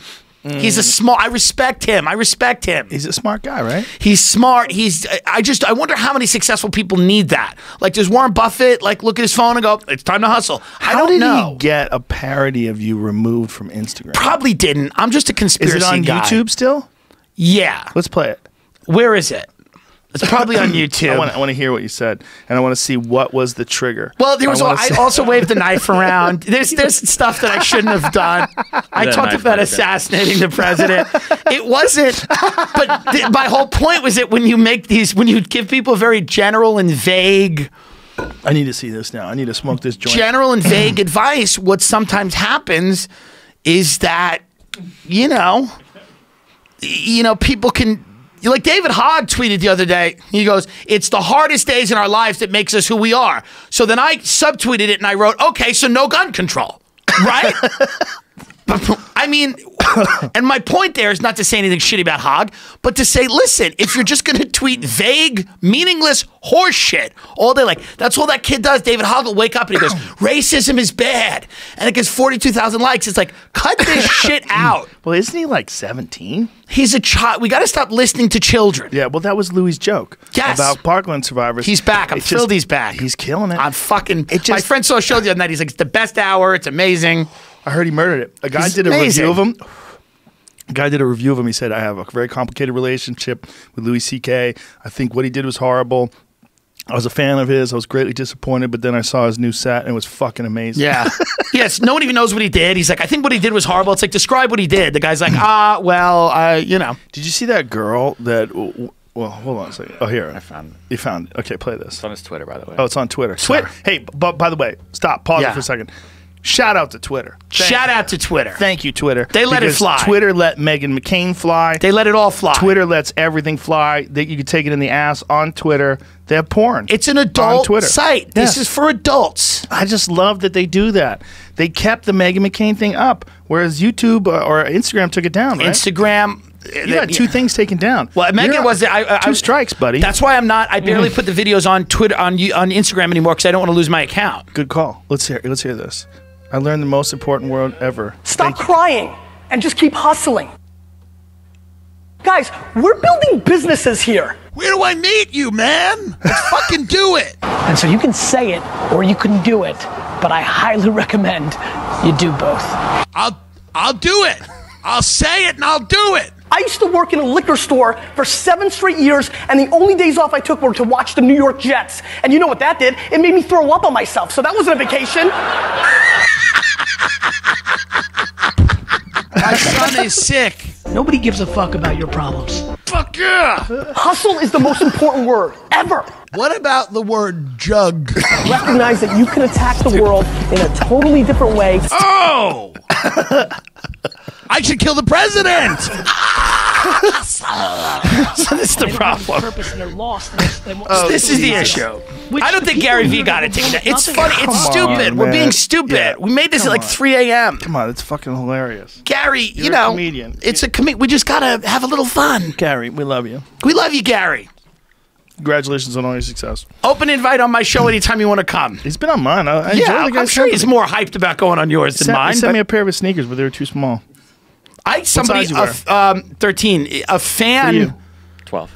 a fan of his sent me a pair of his sneakers and actually they're K Swiss sneakers that he's Yeah, put yeah, his yeah. name on, but they're nice and comfortable. Yeah, he sent me like 10 and a halves. My feet are all fucked up in them. yeah. Did you see that? Are you guys talking about Megan McKelly? she has a YouTube channel now. I don't know if you know that. Megan McKelly. Megan Megan McKelly. yeah. Megan Same thing. McKelly. It's just a Um, hybrid. her first video she looks like she she's launched selling makeup. was talking to the CBS, the girl that was fired from CBS Right. for putting out that ABC clip, and she Right, said right. she was falsely fired. Yeah, she said she didn't even do it. Yeah. And then the, the guy, Project Veritas guy, said it wasn't her either. Right. Yeah, so somebody, so she got fired for nothing. Right. It's, But did she, was she the one who captured it though? she did, but in her defense, she said that was her job. Her job was to capture things, Right, mark them in, internally for clips. in case anybody wanted to use it for Yeah, anything she in got the thrown future. to the wolves. Yeah, yeah, yeah. Yeah. And also for, she said for like blooper reels. Could, yeah, it could have been for anything. There's Yeah. lots of things they mark. They stuff do that for. when you do a sitcom. You know, they do the blooper reel where every time you fuck up your line, like they, we still love those for news radio. We Yeah. should play them at the end of the, the season at the rap party. We'd play the blooper reel. That's probably what they were doing. Yeah. The thing is about those new shows, there's no season. It just Right. keeps going, baby. It just keeps going and going. And I, I was listening to your the, the thing you did with Matt and Taibbi, and he was like, "Yeah, they just want hmm. access to people. They just want to interview like Will and Kate. They're like, we're not Yep. going to get too sticky in this, No. you know." Yeah, they want access, and that's what they don't want to throw away. By Yeah, some crazy. and they depend on people in the government to get access. And if you're a pariah and you're on the outside, you don't get the White House, you know, but press pass. See, you know, the thing about this Epstein thing is it's like such an open door into conspiracies. Oh, it puts an open door into a lot of powerful people having to account for themselves, and that's not in their plan. I think that's part of what's happening to YouTube, where they're like, we don't like the idea that somebody like Alex Jones can start a channel and have more views than the nightly news. We that means we're losing power and we're losing control. Uh-huh. And I think that somewhere, whether it was in Davos or whatever Bilderberg conference, there was a, a room full of people that were like, we gotta we you gotta rein technology in a little bit. You don't think that there's some thought to that? That Well, there certainly is. There that- certainly yeah, is. These There guys are be. uncomfortable. Well, there, there. I mean, especially people that have already done things that are illegal, that Right. are immoral, Of course. unethical, and there's like there's some sort of evidence of them. Right. But this guy was like the cream of the crop, right? But what he was was like the. If you're a conspiracy theorist looking for something really crazy, this is a best case scenario because it has everything. It has powerful people. It has underage girls. It has all the equations. It has illegal sexual activity with underage girls on an island that he flies you to. That With a temple. a fucking It's temple that's crazy. Painted Yeah. the color of the Israeli flag. Yeah, there's a lot of, but also it's unfolding in real time. Yeah, but it's also it's You like know? it's an island that people called Fuck Island. Really? Yeah, pe- pe- This is- pedophile island, kid fuck island, whatever it is. This is Yeah. like a James Bond movie. it's absolutely it's like a weird Tom Clancy novel about. But this this guy clearly was allowed to get away with this. The first deal he got was a very a sweetheart deal. We all, you know, he Yeah. he he was allowed to go home during the day. This was a guy that was you know convicted of you know having sex, molesting a fourteen year old. what they convicted him of, I think, had to do with a massage parlor. Well, something. It was a 14 year old mm. girl, and then he was allowed. One of the things, the provisions, was to not name any co-conspirators. So that first deal was like he was not going to have to. Now this that wasn't going to work like that this time. They were going to be like, "You're now going to sin," and nobody was letting that happen. what do you think they're doing with the guards? Do you think they're like putting pressure on the guards and then go, "Hey, you It's gotta, hard for me to- gotta fill us in the blanks." Yeah. They're gonna probably. The, but one of the guards said no to a plea bargain, which I thought was very interesting. That's very interesting too. I don't know. It doesn't seem. I would have to have faith that I think there's elements in the FBI and there's probably elements in the government that want to get to the bottom of this, but they're going up against a wall of people that don't want to get to the bottom of this. Yeah. We're talking billionaires. We're talking about people that run countries. We're talking about ex presidents. We're talking about you know potentially intelligence agencies, and they're going to just hit that wall. Yeah, I like the old ones better with no consequences, like the Kennedy assassination. Well, because it was all over. Yeah, it's done. It's all over. It's, It's just This is playing out right back. now. It's it's it's unfolding in real time. And it's crazy. I remember when I woke up and he was killed. So many people had messaged me. They were like, "This is kind of what you." You know, said was going to happen, and it and it and it fucking happened. Like this is the craziest thing ever. Prisons chief says FBI looking at possible criminal enterprise in Epstein's death. Yeah. Okay. well, we. Wow. What is that? What does that mean? What does that mean? Uh, what does that mean? These guys are very good at what they do. If this was Mossad, or if it was CIA, if it was like an intel, or if even if it was billionaires that contracted this out to, I mean, these people are very good at what they do. Did you ever read the book The Strange Death of Vince Foster? Do you No. know, do you know about that book? No. Vince Foster was a guy. Well, I know who- about. I know that he shot himself. What in the head twice or something? No, no. something before he was about to testify in Whitewater. Yeah, he was about to testify. He shot himself. Um, the gun was still in his hand.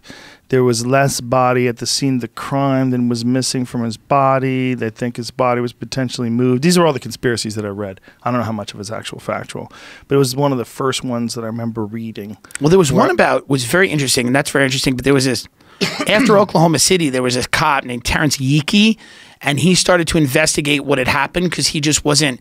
He didn't think it was just one guy. He didn't think it was just McVeigh, and and Yeah. this guy Terrance Yeakey ended up like again.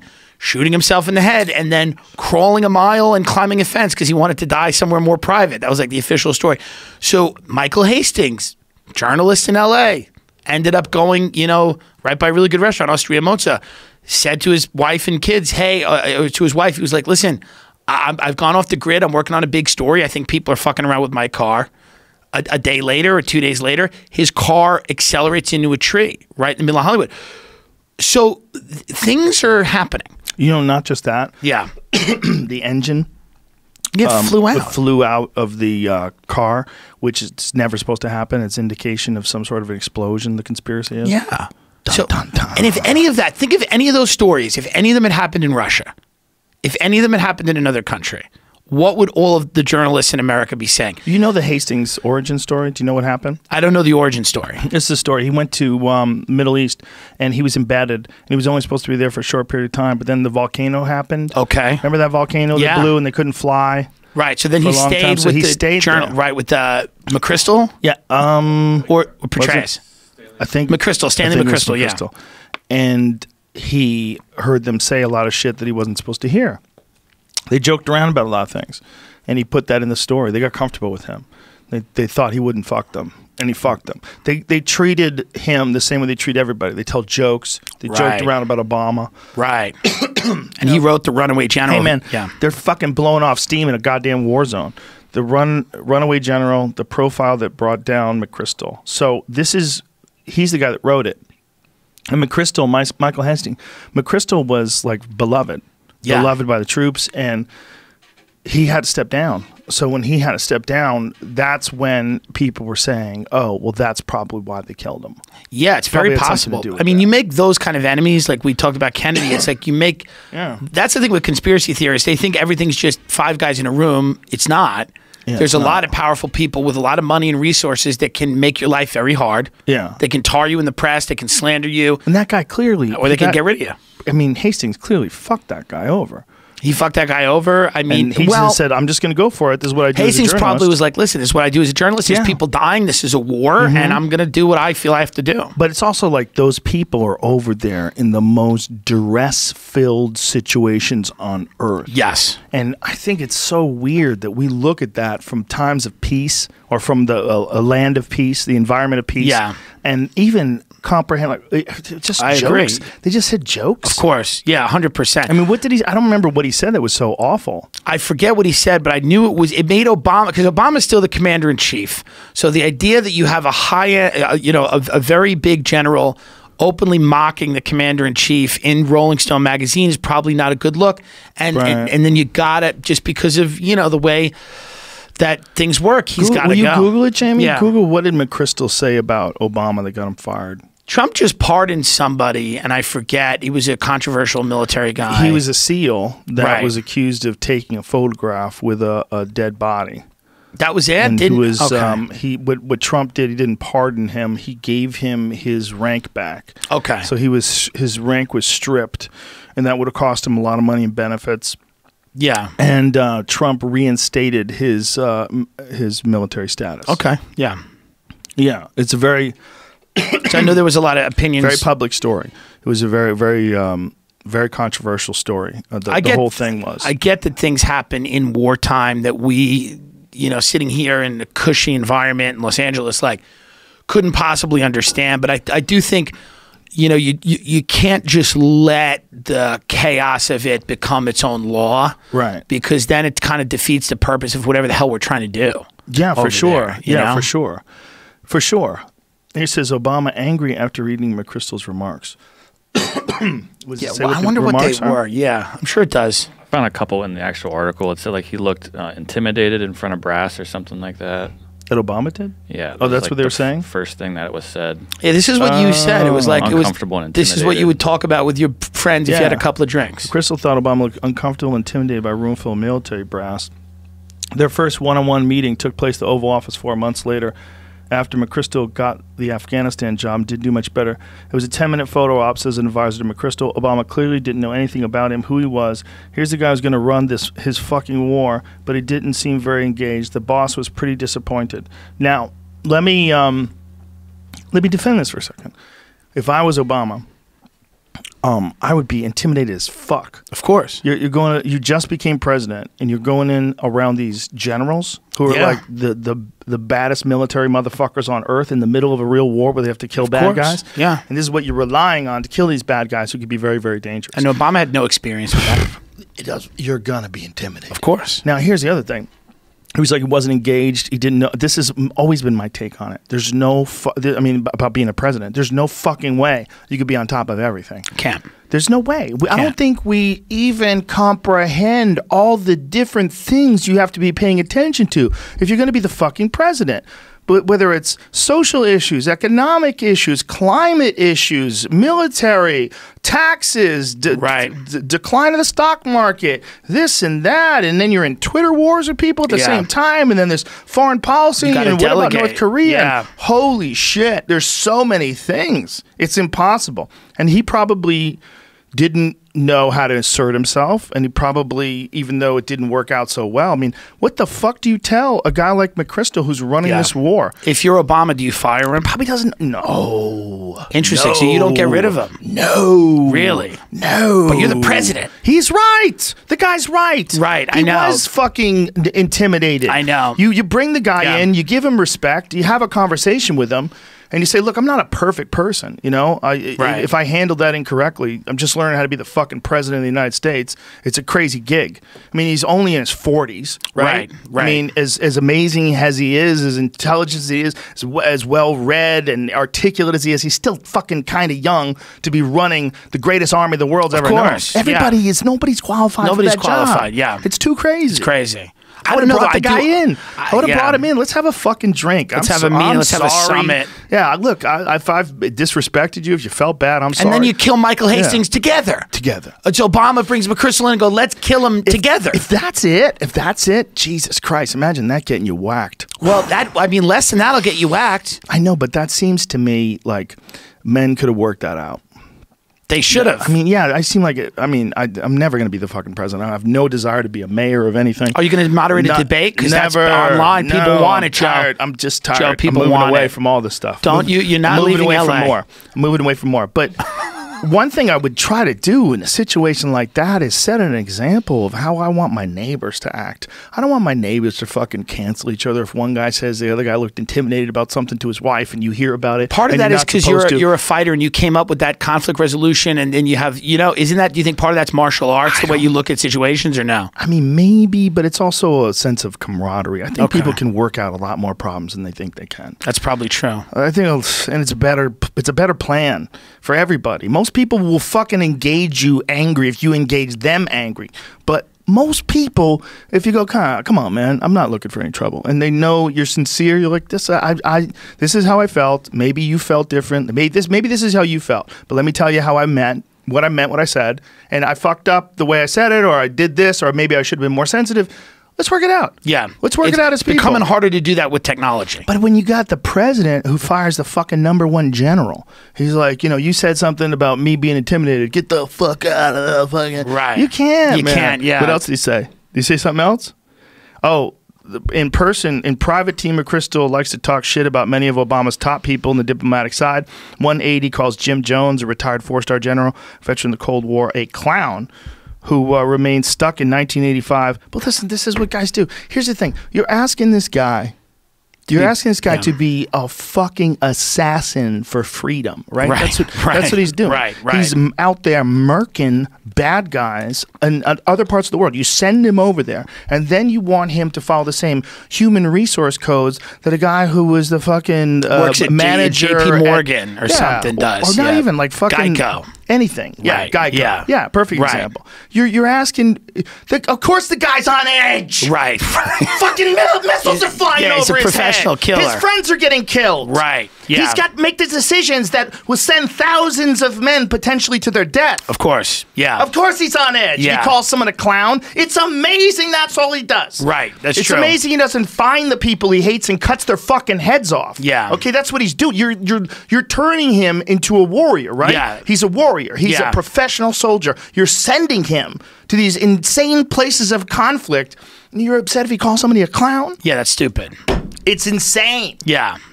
Men should be able to work things like that out. I know, but this is you know they don't. They should be able to work things out. People hold grudges for a long time, and then that those grudges become you know policy and That's so ridiculous. To crazy. be a man, to be a man, you have to be a clown. Every now and then you fuck up. absolutely. That's just part of being a man. There's that this illusion of the invulnerable person, the person that never makes mistakes and Do you think always Obama perfect. thought to himself, if if if if I don't do this, I will look weak? Sure, sure. Yeah, I don't sure. know. I'm just trying to- I mean, don't know. I don't, I don't know. I could never imagine. I just never imagined that gig. That gig, is- that gig is fucking impossible for very any yeah, human. it's a very Any good human. chance I will not be the president. I Uh, mean, look at Obama. I mean, like a, a- fucking Harvard graduate, brilliant guy, lawyer, super articulate, as polished Yeah. as they ever get. smart. Even he can't do it right. Nobody no, can do nobody it. can do it right. It's not Nobody do designed to be done right. You can't do it, man. Yeah, you we're can't do the- it if you're Trump. You can't do it if you're Obama. It's the end stage of the empire. It's like we've had, you know, it's Yeah. basically we're just trying to land the plane or we're trying to sustain, Well, but no, everyone knows. there's too much kind of come. There's too many things coming that are are no president and no political solution will help. Right. and that's AI and automation. Yeah, for That's sure. why Andrew, I love Andrew Yang, but I don't know what like his rallies. He's on a skateboard all the time. He's like, we have a lot of fun at our rallies. It's like, but the whole point of your campaign is like in five years, forty percent of us are going to be fighting for water. Yeah. and then he's like skateboarding around his rallies. Well, he's just he's got to dance that dance of making people like him. Yeah. that's the thing about But running those- for president. He's a very very nice guy. and he's a Andrew smart Yang. guy, and he Very gets what's guy. happening. He scared me. Yeah. when he started talking about uh, the automation taking over jobs and Yeah. about universal basic income, people going to need it to stay alive and survive. I'm like, whoa, like me, maybe this guy's like the fucking, you know, the beginning of the Terminator where someone's warning you. Yeah, You know? Well, we'll kill him. He'll. Andrew Yang's what I going mean? into a tree next week if But he I'm- keeps this up. Uh, He he won't be because no one's in charge of the machine. Right, That's, that's what's nuts with the, And- this machine yeah. of AI. No one really once it goes once it just goes, goes. live. I'm so scared of it. I really think that we are uh, With the last human era, with the last human, do you think we're at the end of the human era? Well, this And- is this is yeah. the path that I see. This is what freaks Yeah. me out. I see technology, right? Technology is innovating on this accelerated pace, super accelerated. And it started out very rudimentary. It started out when we were really complicated. So Right. we were really complicated and it was like flint tools. And then it went from flint tools to a bow and arrow with a flint on the end of it to a fucking canoe to a house to a this to a that to Yes. electricity and solar panels. And it just kept getting better and better and better and better at an insane accelerated rate. But we look like the same people that made the fucking arrowhead. Right, right. We're not, we didn't evolve that We're not evolving. We, we may be devolving. We, are well, going the other way. I'm sure we're evolving in terms of intelligence. We certainly have more access to intelligence or if to information Yeah. than anybody's ever had ever. And it's hard to tell exactly what gets passed down from parent to child. But I think it's pretty likely that some data gets passed down and not just from interacting with the parents while you're growing up. I think shit you I think you get some that maybe you don't know what it is. Right. Maybe you don't recognize it, but Right. there's some memories in your head or That's some in- basic yeah. understanding of what's bad and good. Absolutely. And I think that's why some people are afraid of spiders because it's some shit that's in their DNA. They Like, know, They yeah. know. They're like they have a particular fear of something Right. because somewhere in their memory, someone's DNA had I got bit by a spider. right. Interesting. So it's like an Yeah. imprint. Yeah. And I think we are just slow as fuck, like every other thing on this planet. When you see an eagle a thousand years ago, it looks like a fucking eagle. It's going to look like a fucking eagle a thousand years from now. Right. They got the design down. That's it. It swoops in, it gets the salmon. There's That's no all it needs to upgrade. do. It's Right. great. It's got Perfect. it down. But we we're not. We can't keep up with this fucking thing we made. So And why don't we- This thing we made is going to take over. Why don't we slow it down? Why don't we legislate it and say, let's just not? Why do we have to be victims of this? We can stop it. We can shut it down, right? It's a good question. I mean, this I just is- don't think anybody would ever do it because I think everybody is profiting. I mean, there's so many countries that are profiting off it, so many businesses that are profiting off it, so many people like you and me that use Yeah. its, its All the time. The conveniences. I mean, as nice comedians now, our, our a lot of our lives and careers are at the mercy of algorithms. 100%. The algorithm now is the it's the gatekeepers are done. They're done. It's the algorithm. Yes. They're deciding who sees your stuff and and who can see it and who becomes a fan and who doesn't. Yes. So that's AI already running our careers and lives. Well, that's programmed. I mean, what what that is is like computer learning, and it's their algorithm is essentially just set up to figure out how to make the most money possible. Right. And it turns out that's keep us arguing with each other. You Right. Make the most money possible. It's really kind of fucked up. Yeah. Imagine if it got like if it got like extra money for us beating the fuck out of each other. Like, what if someone made like a Twitter or a Tinder, Right. for just people to meet and beat the fuck out of each other legally? Yeah. Like, what if like people That'll happen. Oh, well, I mean, It's why coming. not right now? Maybe I just invented it. There How you about go. you have a Tinder where people could just meet up somewhere have and fights. just beat each other's Yeah. asses. And it turns out that's more profitable because more people want to watch you beat the fuck out of each other than even turning you on to uh, the new abortion article on Facebook. Right, or something about climate change, yeah. Because you really, really, really engage and people are beating the fuck out of each other. What is it that makes when people are fighting? Why is it that these guys are making more money? Is it because we're just on more, We're online more because we're fighting. Yes. So I'm gonna get the Starbucks gift card Yes. because I'm fighting with my Yes. aunt who thinks she's QAnon or whatever. Well, also because they also because they know what you've been googling. Say say maybe you've been uh, uh, googling a Rolex, Right. Like a specific Rolex. You like you really got my eye on it, Right. And then it starts showing you those ads in your feed. Did you Right. know that? Like if you Google something, I, I will Google something and I'll Yes. Google a hotel because I'm like, I wonder, I wonder how much it costs for that hotel. I'm going to this town, and then they will give me on my Facebook, you know, news feed ads Yep. for the hotel. Oh, yeah. So as long as you're on, so uh, negativity will just keep you on those sites. Yes. If you're if here's the thing. Most of my recommendations are all muscle cars and martial arts stuff and, and hunting stuff. Like that's Right. those are the things that I watch. So that's most of the recommendations that I get. But um, Ari did a trick where The he, puppies. yeah, the puppies thing, and it really worked. But if you're a person that's just mad all the time, is looking for fucking conspiracies, looking to get pissed And off my at the Facebook world, is all negative. Like Facebook doesn't have anything positive now. Every status is like, I just had a knee operation. Mm. There's dead dogs everywhere. It's littered with dead pets. Uh, everybody's like, I, you know, can you help? Here's a GoFundMe. My neighbor's house burned down. Like everything is just human tragedy Yeah. and fighting. there's money in that, right? Is that what it is? Nobody on Facebook's like, by the way, I had a great day and I just love my family. Everybody's like, I, I need help right now or I'm going to die. When did Facebook? It turned, it was college kids trying to have a bit about it, where it's like, these were college kids just trying to fuck. Yeah. And now it is the complete opposite, where it's just elderly people screaming at each other. Well, it's, gone- become more of an old person's thing too, it's, right? it's a boomer thing, and Mm. my aunt loves it. She's on Facebook all the time talking about. She thinks she's talking to Trump on Facebook. That's hilarious. Directly. Well, she has a few glasses of wine and Percocet, and she goes in. Woo! And you know, you know, somebody's good when they, they get on Facebook and they go, "I just got out of Facebook jail." That's my favorite. Oh, when they get yeah, banned when they a little get, bit? when they come back, that's when you know you got a live one. They go, I just got out of Facebook jail, so they go, I'm gonna take it slow, but and then they start within a few statuses, they start getting back into like.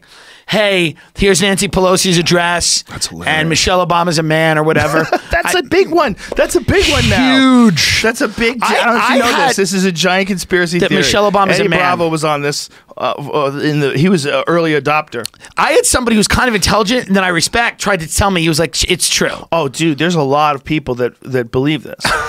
It's hilarious. It's kind of wild though. They I think mean, either she's a hermaphrodite or Is um, it- she's a transvestite. is it just based on the way that her pants like bunch up? No, Isn't- it's nonsense. Oh, of course, It's the nonsense. image. Yeah, the image is based on her pants bunching up, 100. percent But somebody like pretended. Oh, Jones claims he has proof. I mean, listen, he wasn't wrong about Epstein. Hey, he's right about a lot of shit. He's right about a lot of stuff. I don't think that's true. I don't think he's that's Maybe true, that but that's just part Alex of his drinking. When He's having fun. August 2017. Alex has Yeah. been. That was his oh, yeah, late yeah, yeah, summer yeah. He was- episode. he was getting torched then. Alex told me he is 90 days clean. 90 days. I want to go days on sober. Infowars in December. amazing. My goal, I, I really want to go on Infowars in December and wear Santa hats with him and sing like Happy Holidays. This is He'll what I can do it. I really want to do that. Just It's- uh, schedule something at Cap City. I, I would, yeah, I would love to do it, and I, I want to go on there. But during the holidays, so we could have Santa hats on, and it's, it'd be nice and festive. I did a show last time I was there. Yeah, I love Cap City. It's Cap a great City's, like, club. one of the greatest Well, Austin's a great time. town for comedy because It's they a great I- town. they like to laugh at themselves. Well, they're very unusual. Yes. In that they're Texas, but they're also like a little San Francisco. right, You know, it's like San Francisco fuck Texas. absolutely. Or f- no, Texas would fuck San Te- Francisco. Texas is fucking San Francisco. Texas is doing the fucking. but San Francisco would only come if there's weird shit involved. yeah, yeah, yeah. Like you gotta, You'd have to, they'd have to bleed do? or something. you gotta But- hold them down. Austin's fun because they laugh at themselves. It's that weird collision of we are certainly Texas. You're in. It's the Yeah. capital of Texas. Yeah. But you have a lot of progressive people. So that fusion, I think, anytime you have a like Boston's a great comedy town or DC, it's because there's a natural tension that you can kind of just touch on those tension points as a comedian. Because Boston has like a lot of working class people, a lot of uh, Ivy League people. There's a lot of race issues. DC is the whole political divide. So I think if you touch on those tension points, and Austin certainly has them. Yeah, they, it's it's got everything. Yeah. it's it's like it's a weird mixture of like cowboys and hippies and r- Yeah. really really liberal folks, and Barbecue restaurants where you Yeah. gotta wait nine hours to get in. psychedelic culture. Yeah. A lot of artists. It's a very interesting look. Like I'll point at a restaurant, and I'll be like, "Is that a homeless shelter?" They'll be like, "No, it's the highest rated restaurant in the state." You know, it's an odd place. Things that don't hang themselves. Senator Kennedy drops Epstein joke, demands answers at hearing.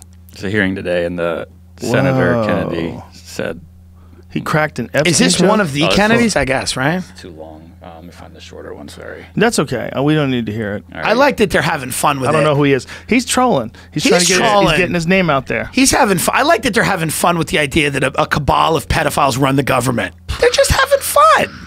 Dude, you're freaking me out. I mean, let's listen. Maybe that's not the case. I don't know. I'm sure we'll get to the bottom of it. Nah, and everything will be case. okay.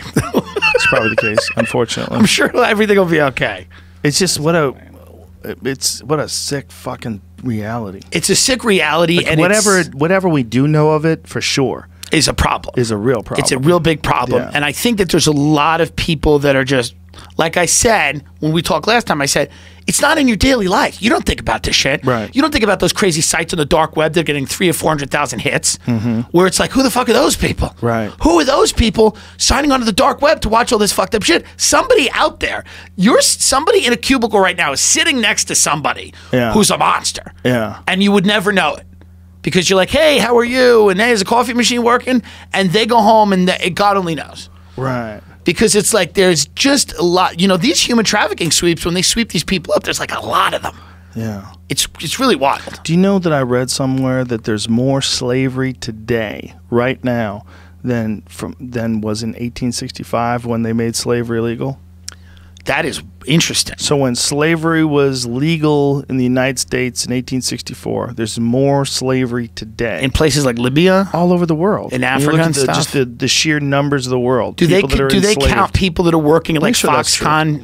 You googling that? Do you think they count people that he work looks in- very skeptical. He's like, I was just like, Yeah, I wonder Jamie's- how this- I'm, I've read that this more than once. Now, I'm pretty close to Yeah. Jamie checked out at Michelle Sure. Obama was a man. he he's did. like he's, He's- like these these he's guys are on a road I'm not going down. Eddie sent me like a one of them boomerangs. Forty million, supposedly. I mean, they're they're cl- what slavery that they including uh, sex trafficking, any human trafficking victims. There's lots of. Uh, Are they including people big that work for Apple and like those factories, Foxconn? Those are crazy, That right? seems- uh, that seems odd.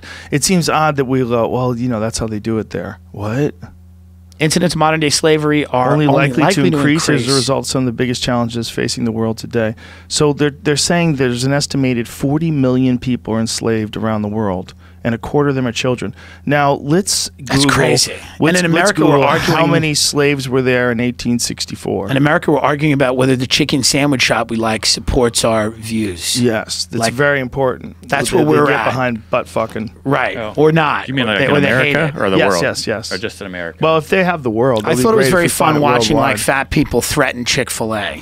Well, the Chick Fil A thing is, is strange because, like, it, it, it, are they affecting policy? If they're affecting policy, I understand why I mean, people would be who concerned. knows? They're probably listen. They're a corporation. They probably looked at themselves and said, "We want to expand into more liberal cities and shit." Yeah. They're not, you know. okay, here it goes. Yeah, wow, it was only 31 million people back in 1860. Uh, that's total. That's the whole population. was That's 31 million. everybody. Yeah, there's th- th- uh, just about Three four million, slaves. three. Wow, dude, Yeah, we had less just people. Stop and look about that. In 1860, the census counted 31 million people in the United States. Right, Right. three thousand nine hundred of them. We're slaves. Three million. Three Nine million, hundred. excuse me, three million nine hundred fifty-three thousand nine hundred sixty, uh, seven hundred sixty of them were slaves. And most of them were Irish. so it's one tenth. yeah. One tenth of them were fucking slaves. More. It's more That's than one crazy. tenth. Yeah. One tenth of the people. It was ba- it was One bad. out of ten people was a slave. That's insane. yeah, it was not a good. That was not a good period. dude. That's insane. Yeah, that wasn't our best time. Just stop it. That that's hard to believe. Well, that's why people don't understand. I think when they when they talk about like you know racism being over, it's like this was a, a massive thing, Yeah. and it didn't stop at slavery. It was like another hundred years of people not you know being denied opportunities. Not stuff. just that, people Yeah. being murdered, Murdered, people being pulled. Not only that, being pulled over by cops and Yeah, bull- bullshit trumped up tribes, and they just sent them to jail and make them work for nothing. crazy. They basically reinstated slaves as a lot of these jails. Yeah, they have a lot of prison labor. What Tulsi Yes. called Kamala Harris out. Yes, I Kamala know, Harris dude. is like one of these She went- people. she went hard at her. Yeah. She What's marked her. going on with? Do you think Tulsi is? I mean, she's not polling well. I don't know about any of she's that an- stuff, dude. yeah, she's I'm the wrong guy. To, I'm, if I'm talking about Yeah. it, you know what it's like? It's like a guy who doesn't know jack shit talking to me about the UFC. Right. That's that's how That- I that sound. happens. all Yeah. the time. Yeah. All, and I have to go. That's not really how it works. Right. Let me explain. This is the situation. And I think she's. I mean, I like her. I like that she went back at Hillary. That was a. Do you think Hillary's getting back in? I don't think so. I don't think so. Not with all this Epstein thing. She's probably got to kill a few more people. She's probably busy. Great conspiracy theory. Biden wins. He has Hillary as his VP. He gets impeached because of the Ukraine stuff, and then Hillary becomes the president. How Tulsi Gabbard's feud with Clinton helped extend her time in the spotlight. Yeah, well, They're well, always Clinton- going negative at her. Well, because she doesn't doesn't She- take any of their bullshit. she She, rocks gets all the her boat. money. She gets all her money from the from the public. Well, She like Sanders. she's They, they don't fuck with Sanders either. Mainstream outlets don't really fuck with Sanders. But no, they're not going to, and they're not going to fuck with her either. And the two of them together would almost be unstoppable. They're trying to, to, to- There's a coronation with Imagine. Elizabeth Warren. Those two together. Tulsi and Sanders would be crazy. I mean, I know she wants to be president totally, and I would vote for her. I guess. I say I guess because I look. I would vote for. her. I would vote for Bernie too, though. Bernie has I a would lot of interesting things. I'm I'm curious. Yeah. I'm curious as as to how this all going to play out. I really am. I'm really curious. Yeah. Just the whole thing is like, whoo, where does this go? it's a crazy election. And it's crazy that when you look at the, the spate of Democratic candidates, you're like, there's nobody under 70? I wish Bernie didn't have a heart attack. I know, me too. But I think, you know, listen, people have heart attacks. Did you hear that there were? It, it turns out probably false, but there were rumors over the last couple of days that Trump might have had a heart attack or had some sort of heart problem because he was in like some people were reporting that he was rushed to the hospital over the weekend and they hadn't seen him for a couple of days. And he mm. came out this morning and said he didn't have a heart attack. It's like he actually addressed it. Wait, who, who came out and said it? Trump? Trump did, yeah. Yeah, when someone tells you they didn't have a heart attack, you're like, why did you tell me that? I just love that we're being, yeah, we're being run by people that are just getting ready to leave the planet. Yes, It's really crazy. and they're all scrambling in this power game that they're playing. It's really weird. Yeah. Can you imagine being that old and being billionaire? I mean, he's at least one billion dollars. He's got like three Yeah. billion dollars, and still wanting the job of being the president. Well, because I think money is anti- mm. anticlimactic. yeah, I'm sure. I had a very routine physical. Yeah. Trump existed as speculation intensifies. I just listen. If After you he stayed out of the if you're public going to bed at night and you think this guy cares about you, or you think any of them care about you, I just don't. I I can't get on board with that. Well, that I- guy is yeah. like he's in he's in constant conflict, not like a soldier is, Right. where it's like, but almost. And you have to really think about that. You have to really think about the constant conflict that you're engaging in if you're the president of the United States, whether you like that president or not. Obama was in constant conflict. This guy's in constant conflict. These guys are freaking out. To have that many people upset at you, that many people plotting against you, that many people that want to impeach you, that many people that don't want your policies, that many people that want to hold you by everything you've ever done, ever in your whole life, and bring it up every time you hold a press conference. Yeah. And every day is a fucking war. Right, yeah. It's a war. You can't be worried about.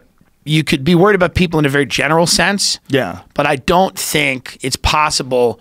Like when I, I got shit because I said when Obama was crying because of a school shooting, I was like, listen, presidents kind of choose when to cry. Yeah. You know, people got mad at me about that. And I'm saying that's not that he doesn't have emotion, but this is also a guy that's ordered the deaths of people daily. You know what being president's like? Yeah. It's like every four years they hire a new man or woman someday, maybe, to kill the unkillable dragon.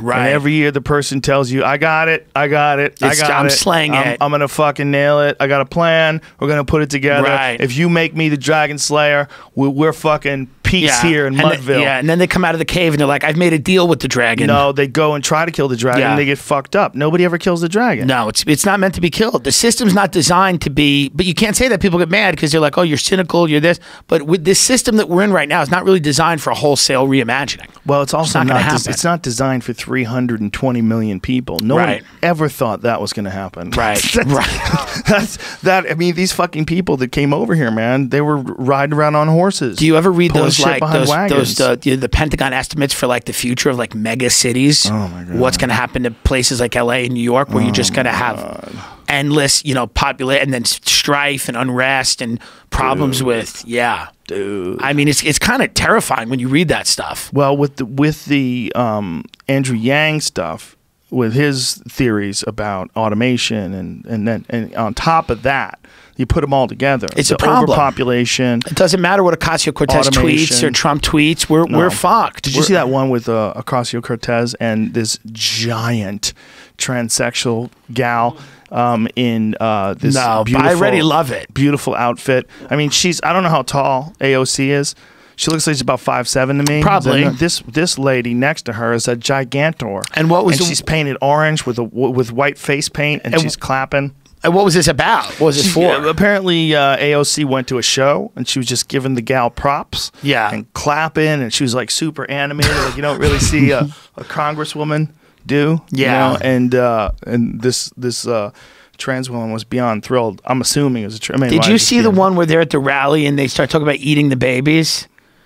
That's amazing. Where AOC somebody Oh, yeah. stands up. That I mean, that's one of the What do you think funniest things. is? Is that someone who's doing like an onion thing? I hope so. I think so. I think that's somebody who's just Yeah. doing a you know character. You know, or someone who's like legitimately mentally ill. somebody who's legitimately mentally ill. But it was too funny and too good. Where I'm like, no, this this is somebody who's really because they got into it. Oh. You could see. I love that. It's like the scene from Borat. Uh, where he's doing the the speed the thing at the rodeo, Yeah. and you could see their faces starting to change because they're like, "Oh wait, something's off." Yeah. you could see Ocasio Cortez's face start to change as a woman started talking about eating infants. Yeah. and you could see Ocasio Cortez. Yeah, I remember this. So good. not get it, you know, getting rid of fossil fuel is not going to solve the problem fast enough. A Swedish professor saying, Oh you know, God. we can eat de- dead people, but that's not fast enough. so I think your next uh, campaign slogan has to be this: We got to start eating babies. We don't have enough time. There's too much CO2. All of you, you, you Oh my god, this is amazing.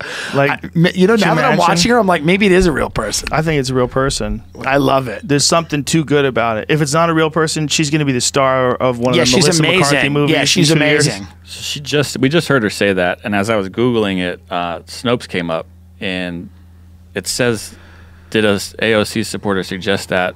Fact check mixture of results. I'm not going to go to the thing to read what Okay. they say, but like, why wouldn't it just say true? Because Well, that's what it said. because it might have been a joke. I think Snopes leans pretty Hard esta- left. hard left and establishment. Yeah. they're very establishment. Like they Yeah. check things against, you know, mainstream organs of opinion. yeah, Oh, this this Might is be great. actor. It might, be. might be. What does it say? A woman What's in town- true. Oh, she's work, yeah. They have stunts of doing this. A conspiracy. Group. She was an AOC supporter. Okay.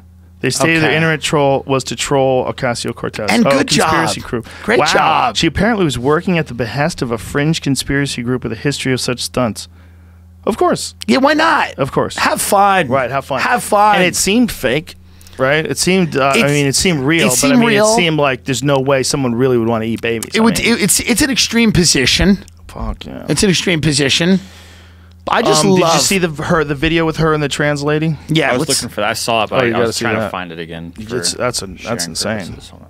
This lady's like, you think she would Sick, ever come on this show, Ocasio Cortez? yeah, sure she would. Interesting. I'd be nice to her. Yeah, I like her. I mean, yeah, she's sweet. She's 28, She's man. she's daft. Yeah, though. she's. She said we're gonna what get rid way? of planes, and Is that what I she mean, said? yeah, she She's come on. She's a silly girl. She's a okay. bartender two But- years but ago you- pouring you- SoCo lime shots. You need a fucking far left to balance off the far right. yeah, you and need everybody extremes. just needs to be a little yeah, more you need reasonable. just crazy people. reasonable and, and see You each need, it's great that we have a game show host versus a bartender. Yeah, that's great. perfect. Why Which not? one's the game That's- show host again? Uh, Trump. Oh, that's right. And then she's a bartender, and this is how it ends. Listen, she why could- not? she could I'm be gonna president. make. I will make Logan Paul president. Dude, he's a smart 10 guy. years?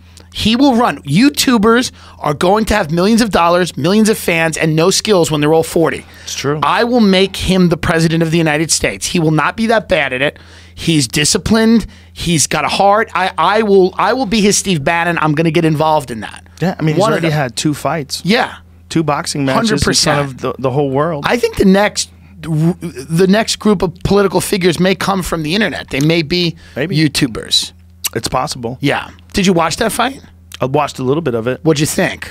They're not bad. I Yeah. mean, they they got wild. They worked their asses off. They yeah, they they clearly did. They were in real good shape to fight six the rounds. thing that happened when he hit him when he was down, that two Yeah. point thing mm-hmm. that he lost, is that mm-hmm. legit? You're not supposed to hit someone when they're down. Okay. There it is. Look at that.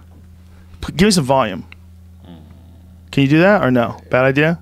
Amazing, impeccable, genius. You believe It's it just from the revolutionary of our time. I love you so much. Thank you for being What's the hug? Oh, adorable. Somewhere Pat Buchanan is sitting there being like, you see? That threw me off so hard. You see? What were we just talking about before that? um, the KSI so Logan. Paul Yeah, fight. yeah, oh, yeah. So they got wild. um, it's hard to keep your shit together when you're fighting in front of all those people. But if one of them had been able to keep their shit together and not go wild and just box, like um, I don't know which one boxes better. It seems like Logan Paul was training with Shannon the Cannon Briggs, who's legit as fuck. I mean, he's like, you know, he was one of the top heavyweights in the world, former world champion. I mean, he's he's a, he knows how to teach box. He knows how Right. to fucking box, Right. like, as good as it gets. Yeah. So he was working with Logan Paul, and he said some crazy shit like Logan Paul could be heavyweight champion of the world. He's Yeah. white. He got money. Yeah. That's I think I'm that's saying what he he could be the president. Yeah, yeah, I mean, I don't know about that, but I do know he's a real athlete. He's Like, an athlete, yeah. He 100%. dedicated himself to it. I mean, I, I did Yes. A podcast at his house and he was training all day, ice bath, all the thing, you know, whatever. you can tell. You can tell, like, and the same thing with KSI. They're both athletes. They both Right. know how to fight a little bit, and they probably fuck up someone who's not as good as them. But it's um, they both got wild, and what that means is you you start swinging for the fences, and sometimes you land, and sometimes you don't. But if one of them could have stayed technical and just boxed. And just fired off sharp jabs and clean right hands and moved a lot and kept your hands up and boxed. Don't get emotional. If they could just box and not get emotional, they'd start landing.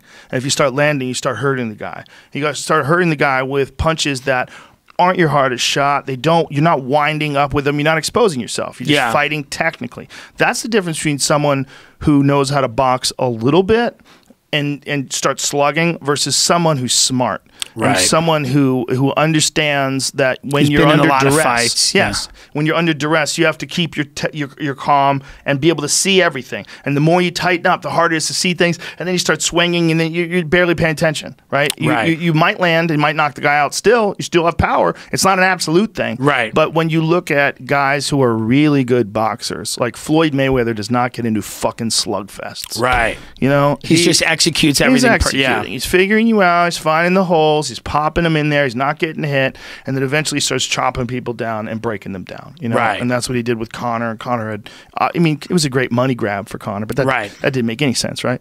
But that these guys, th- what they are is they're both like at a similar level. The reason why it's so fun to watch is because they're, they're both like they can hit a little bit. They both are good athletes. Yeah. and they're both kind of learning how to fight, and they're both super fucking famous. Yeah. online. Yeah. and then they get together, and then they're even bigger. I mean, It was explosive. they sold out the fucking Staples. What does that hold? I don't know. It's, gotta crazy. Like twenty thousand people. It's a lot of people. It's a lot of? People. it was one of the biggest 18,000. internet events, you know? Oh, yeah. Because, yeah. and it was a good fucking fight. I It's mean, in- In, terms of like entertainment value, they went after it. They didn't. Yeah. But I think if one of them learned how to just box, just stay like a fucking samurai and just box and never let that emotion get a hold of you. Hard that- to do. In the, yeah, in the. Staples Very Center. hard to do. It's always hard to do, but it's even more hard to do when you talk shit to each other. Is it is there a similarity when you're when you you're playing arenas now? Is that different when you're in an arena versus you being in a smaller venue? Well, it's nothing like a fight. Well, of course. so- the thing Yeah. about fights is like, here it comes, here it comes, here it comes. It's happening. Right. it's like all the preparation, all your nightmares. You get knocked out. All the weird Right. feelings. Uh, you like you get hurt in training. You have to work around it. It still hurts when you get in there. All that stuff that they're dealing with when they go in there is like uh, uh, stand up times a million. Like the the thing about stand up is if like if you do your prep work and you get your shit together, you could do it many many nights in a row. Correct. They can't do that. That's They true. got There's- they got one- night. one chance. One chance. Like, One chance. You know that one time you did a joke and it just came out like shit. Yes. And you're like, fuck, I wish I could do that show again. It Right. rots you away. It rots you away. Well, they sometimes people have moments like that athletically. Like you just you, you fucked up. You, your chin was up high. You came in swinging. You got clipped. Once you got clipped in the first round, you tried to box in the second and third, and then he takes you out in the in the fourth, and you're like, fuck. If I just played my fight right and played my game right, I could have outboxed him. Yeah. But instead, I did something stupid and I got clipped. But then And it's you- also, I guess, part of it is the show. Yeah. Part of it is the spectacle. It's so much. Well, I'm saying They're it's making- so much yeah. easier to do comedy. No, It's- of it's course. not even close. Of course. Of course. I will. I do want to fight Chelsea Handler. That's a good fight. That's a great fight. Me and Do you think Chelsea's a good be fight. down with that? Um, first would of you all, fight over? Though? I mean, that her latest documentary, it's Hello Privilege, It's Me Chelsea. We'll fight over that. Um, which was wild. I mean, you know, it was a little wild. Did you see it? No. It's her talking about white privilege in the back of her Bel Air mansion in the backyard. It's a fun one. Hmm. And um, I just think she should go around and apologize for all of the things. Like she should go to the Gaza Strip and do "Hello Gaza, it's me Chelsea," and Tuskegee Airmen, "Hello Tuskegee, it's me Chelsea." I don't think And- they're allowed. Yeah, well, right. No, she goes, got to go to graves. She should just apologize for everything America's ever done. Go to Native Americans. Mm. You know, no, I mean, I, I, I kid around, but maybe these. it's a joke. Don't you know? this is a joke. But maybe these celebrity fights are going to be bigger things. Like, Yes. didn't Bieber challenge Tom Cruise? I mean, Yes, Tom Cruise did. didn't accept. Out of nowhere. Yeah. Bieber just wants to fight. Uh, I, be, I think Bieber's hilarious. He's, he, he likes he likes to fight. I think he's sober now, right? Is he sober? Is My friend saw him the other day in a, in a luncheonette in Beverly Hills, and sober wouldn't be the first word that would be used. Maybe smoking that reefer. Yeah, Again, hey, you can have fun. he's in a war zone. His life's a war zone. It's Kid wild. became famous when he was like six years old. As a young, yeah, it's wild. And you, could you imagine Yeah. the type of gals that put that punana in a fucking Yeah. slingshot and twang? And- yeah, and he's send it, send it his he's, way. He's grown up. He's he's grown up with that. I mean- he's grown up with NDAs. Oh, God. Yeah, And and bodyguards everywhere. And I know. Everywhere you go, you're yeah. So he wants to fight Tom Cruise.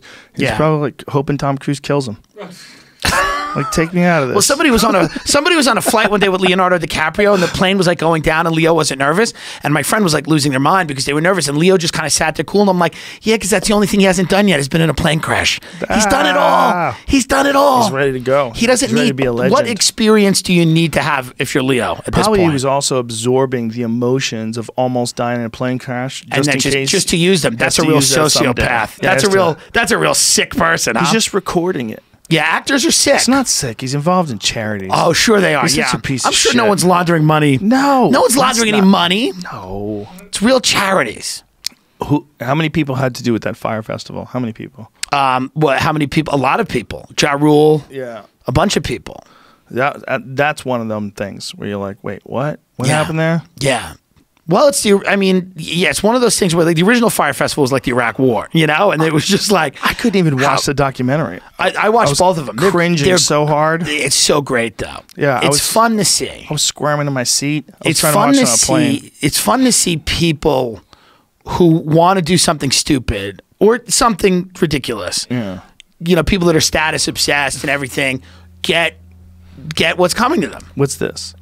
Ja Rule dismissed from hundred million dollar Fyre Festival class Yeah, he's- action he lawsuit. skated away. How did he uh, get dismissed? Lucky him. He didn't know. He probably skated didn't away. know.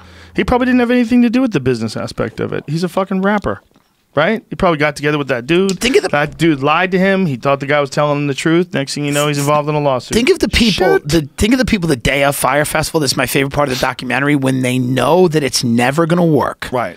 They know that's an interesting. They they know that it's all over. Yeah. And then the people are hitting the island that day. Could you imagine also thinking your first promotion? What is your first promotion? You do a, a, a theater? You're gonna try to uh, fill a small theater? No, no, no. My first one, I'm gonna do An island. An island. A And I'm private gonna, island. ha- have people fly in, and I'm gonna feed them bologna sandwiches on white styrofoam. People with Supreme shirts are going to come in and eat Katrina food. Did you see Wild Wild Country?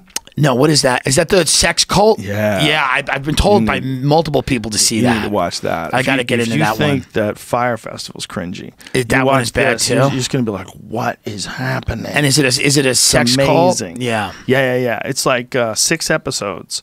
Is it like six, four, something like that? Is it one of those where by the end you can't feel bad for the people? It's like no, you yeah. feel bad. You still man. do. I feel bad about cults because I've been a moron most of my life. You know, I, I've never got roped into a cult, but I've been lucky. Yeah. Cults have never wanted me, Nice so. parents. Yeah. You know, I've been lucky. I grew up in a pretty nice neighborhood. You never like got like you never look because every now and then I'll look at the Scientology building and go, huh? Oh, I did when I moved here. You know, sometimes I go, what's that? When I moved here, I bought a Dianetics book on, on the you know the TV app. Really? Yeah, yeah, yeah. I didn't know what it You meant. didn't know what it was. You were I thought it was curious. self help. I had Anthony Bourdain, uh, not Bourdain, um, Anthony Robbins. I had all of his, uh, All of his stuff. Yeah, yeah, yeah, yeah. All that uh, fucking he's great. get your shit together cassettes. Yeah, yeah, I all gotta that. get my shit together. I was always trying to get my shit together. so you just then. thought Dianetic, and did you I read it? what it was. And were you like, Yeah, this is I ordered the book. I got the book in the mail, and like most of those books back then, I would read them like four or five times. I'd pick it up, read it for ten minutes. I'm like, what am I doing? And I put it down. Like maybe I went through a whole chapter, maybe, like maybe. Right. Best case scenario. Most of the time, I just sat. I'm like, this isn't working for me.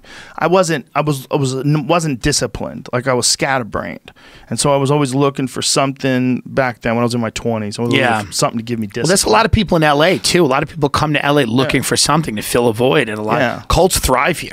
Now, if you grew up, the thing is, if you grew up in uh, a, an Orthodox religion, in a religion that's like very rigid, and you trust in them, even if it doesn't make any sense, like um, I know a lady who did that, where she grew up in the Mormons, and then she got out of the Mormons.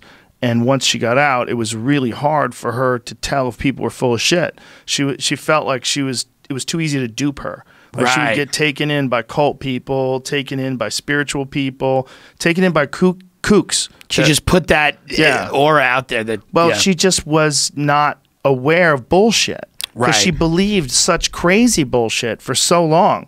Like if you're willing to believe Yeah. that Joseph Smith found golden tablets that contained the lost Right, work his of magic Jesus, underwear and and- only yeah. he could read it because he has a magic seer stone. And then when the people came to read them, the angels Right. took him away because God was didn't believe he trusted him. Like, Right. nuts. That the the the uh, Native Americans were a lost tribe of Israel. Like, right. It's like wacky. If you're gonna do that, why not throw? believe anything. Yeah, why not believe anything? Xenu and so yeah. I, if I grew up like that, I would be like that. That's the Right. that's the insidious part about cults.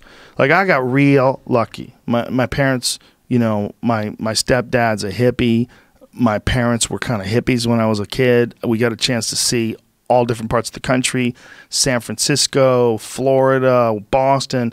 But uh, I never got roped into any religion or any cult. But if I was there Yeah. and they took me in when I was six or seven, you telling Yeah. me I would I wouldn't have figured it out or I wouldn't have Of uh, got stuck? I would have got stuck. Most of us would have got stuck. Yeah. Most of us, if we were young and impressionable, It's and interesting. I- was a part of our community. Yeah. Would get roped into it. I know people that came out of you know really religious upbringings, and it it does. It's interesting. It does something. Yeah, it does you know. Some of those people are, are a lot of those people happen to be very trusting when they get out of those. It's interesting. You'd think they'd be, yeah, you'd think they'd be more skeptical, but they're actually very trusting when they get out of those things. it's a weird thing, man. When Yeah. you think about getting roped into a cult. Yeah. you're a young person. You ever Yeah. talk to? Well, I, I know quite a few people that have had those kind of experience when they're younger too. You ever talk to Metzger? Yeah, I mean, Kurt was uh, was a Jehovah's Witness. Yeah. yeah, His story's crazy. it's a wild story. It's it's uh, all these wacky different ideologies. There's so many of them, man. Yeah. you know. And I love that his mom was in sales. That's what me and him talk about because I was a sales guy, and that's its own. That's another cult. Oh, so, yeah, yeah. right? So Yeah. getting in that. So me and him always talk about that. Like that is also like really good salespeople must be really good at picking up chicks, right? they're really good at everything. I mean, they're really good at arranging the world in a way that allows them to. And I think a lot of good salespeople, the ones that I've observed, they don't overthink. Hmm. They they don't. They, they it, there's a simplicity to what a good sale is. I'm sure that you can write about it, make it more complex.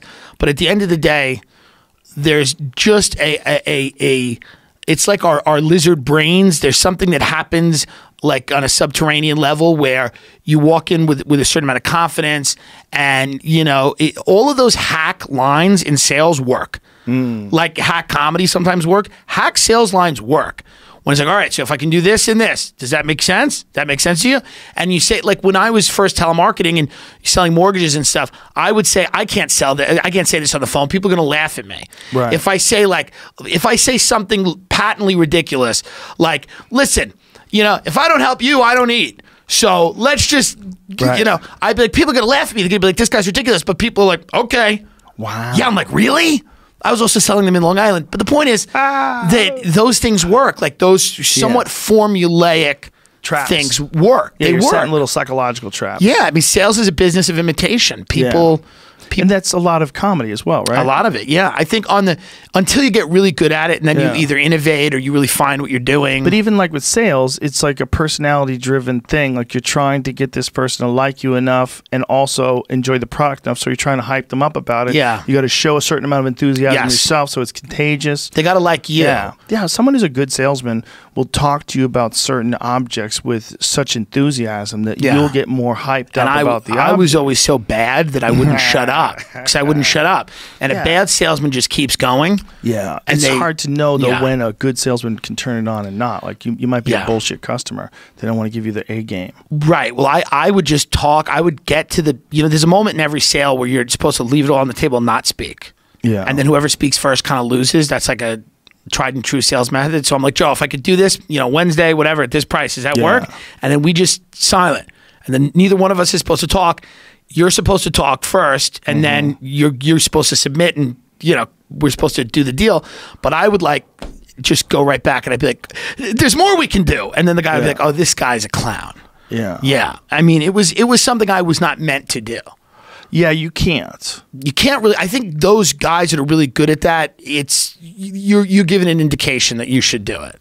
But I was around a lot of bad salesmen, and those that's it's just like bad con. It's very sad. It's a weird thing, right? Because you're you're basically a charisma person, Right. Like you're trying to smooth some. Like you shouldn't have to have a salesperson. You should be like, this is the price on Right. that. Right. You want it? Yeah. Okay, if you want it, go talk to that guy and you can get it. Yeah. But no, a guy's like, sir, can I help you? Welcome to Mercedes. Well, uh, yeah. You know what? I see you in this car. Right, I see you in this car. Tim Dillon. Oh my God, the convertible. Look. Yeah. Look at it. One button. Look at that. Boom, dude. You're driving. The sky's Right. overhead. You're the king of the world. Yeah. I guarantee you, the way you'll feel hyped up in this car, it's gonna make you kick ass in the office. Yeah, but see, I'd be so bad. They'd walk in the lot. I'd be like, "Do you like cars?"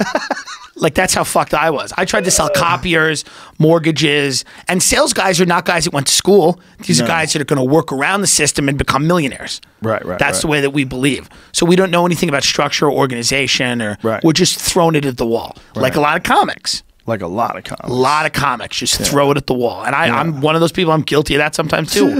where I'm like, I threw it at the wall. Well, especially if you don't have a lot of sets. Like, what if you're only doing three sets a Yeah, week? but when you, when know? you tell us like the, the the work ethic, when you're like in the car and you listen back and you do two hours and you listen back to the thing, it's like we're all just like, okay, well, Yeah, this like as, as, especially as you get older, like me, um, and you run out of like I have to make these fucking premises work. And I'm doing a new special like every couple of years. Like you can't fuck around. It's a heavy workload. You gotta you gotta get that shit out there, and you gotta you gotta tighten up those bits with the most like focus that you can give. and you go during on the time stage at the them. store and you, you turn the lights off. There's no crowd work. There's no you just you just you just you. Let, it's like you're doing a special every night. Well, I'm just trying to tighten up these bits, Right. you know, and Yeah. adding to them and taking away from them and fucking with them, and it's the only way. Yeah. I've done it other ways. I've done it half-assed before, where I only did a few sets a week and I recorded a special and it wasn't that good. And I've done it where I really hustled and it's always better. And I think, um, you know, I think, I think it's like a thing where you just gotta kind of stay on it and then know, like, okay, I think I got something here. You gotta know, like, What this do is you ready What do you look at? Do you look at crowd work? Because every now and then, if I do a bit and it doesn't really work, sometimes I'll try to crowd work the audience back to being on my side and then try the next bit. Is that cheating? No, it's mm, never okay. cheating. It's never cheating. I mean, there's nothing wrong with crowd work.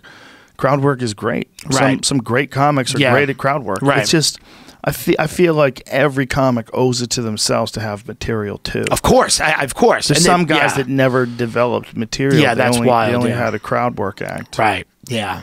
But it, it's look, they can still work, but that seems like so crazy. No, you you, you want to say what you're about and tell your jokes. It's a different thing too. It's like it's a fun thing to Right. work the crowd, but you never get a well crafted, well honed bit. Never. that you're real proud and of. nothing works again. Like a crowd work Right. bit, there's, there's no legs.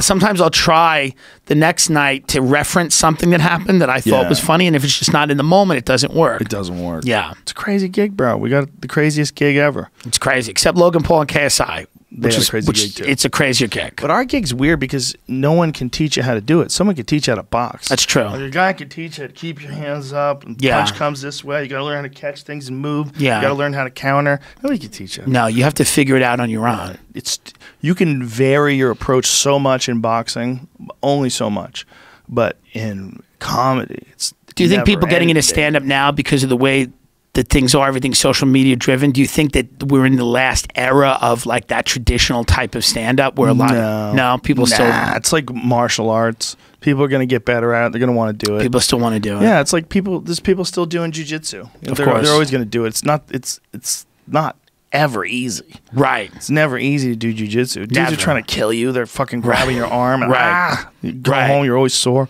But people are going to keep doing it. Most Yeah. people are not going to do it. It's the same thing with stand up. Although way more people are doing jujitsu than doing stand up, you know, most people can do it because you don't have to have a certain personality uh, like you do in stand up. Yeah. But if you could just put the time in, you put the time in. You know, you, if you're a reasonably funny person and you start doing it and you put the time in and you, you're a driven person, you realize you can keep getting better if you keep paying attention to it. You're going to get addicted. That's What's- what happens. You do get Yeah. addicted. What's more Even fun when than it's killing? Nothing's more fun than killing. When you, especially like you're two years in, you just sort of Yeah, you just start to figure it out. get, and every now and then you got Just one getting way. paid. Fucking boom. Just starting to get paid. You're Yes. doing gigs wherever you can. You're driving around with your friends. There's nothing funner. I look back at those days. I'm so lucky that I'm still real good friends with Greg Greg Fitzsimmons. Yeah. I almost forgot his name. Greg Fitzsimmons. That guy, Greg. I almost fucked up his name, but we uh, we started out like within a week of each other. Yeah. Yeah, so we knew each other forever. In We did a- Boston. yeah, yeah, yeah. We Yeah. did a shitload of terrible gigs together. It's hilarious. We, Yeah. I forget about some of them sometimes, and he tells me about them, and I, Yeah. I'll tell him about one that he forgot. Oh wow, yeah. Yeah, you look back. horrible, bro.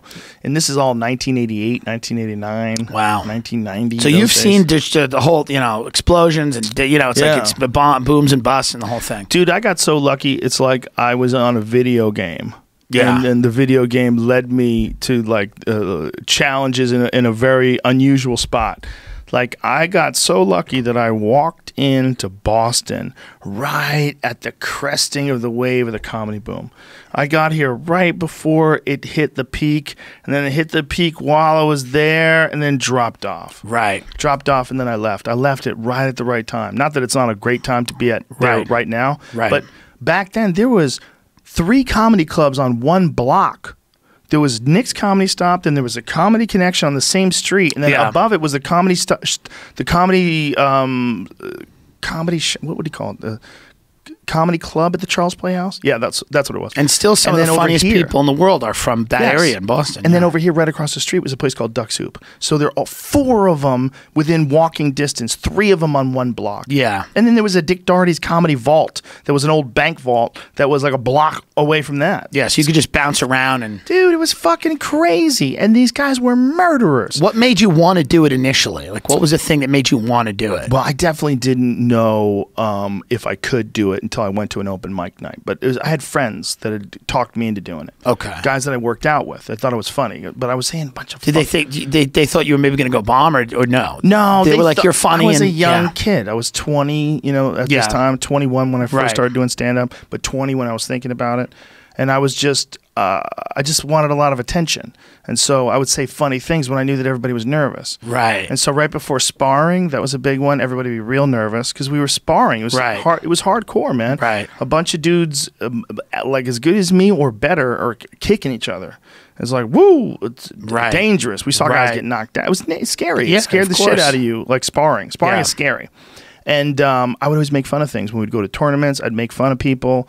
I'd make fun of myself. I'd make fun of each other. I'd, I'd do impressions of my friends having sex. Right. Like, this is what I think you sound like, and, and everybody'd be laughing. But I would just try to make them laugh. Right. Right. But I didn't think, oh, I'm going to be a comedian. My friend Steve Graham, who I'm still good friends with to this day, was the one who told me you should be a fucking comedian. That's crazy. Yeah. And you and so what's the first open mic night that you walk into? Um, August 27th, 1988, Stitches Comedy Club. This little comedy club. Still there? No, it's not there anymore. It was uh, Is it like Massachusetts. it was next to another place that was like uh, larger. I can't remember the name of the other place, but the other place was that was next to it that was really pretty big next to Stitches. Fuck, I wish I could remember. It was like a rock club, and they occasionally have big acts there.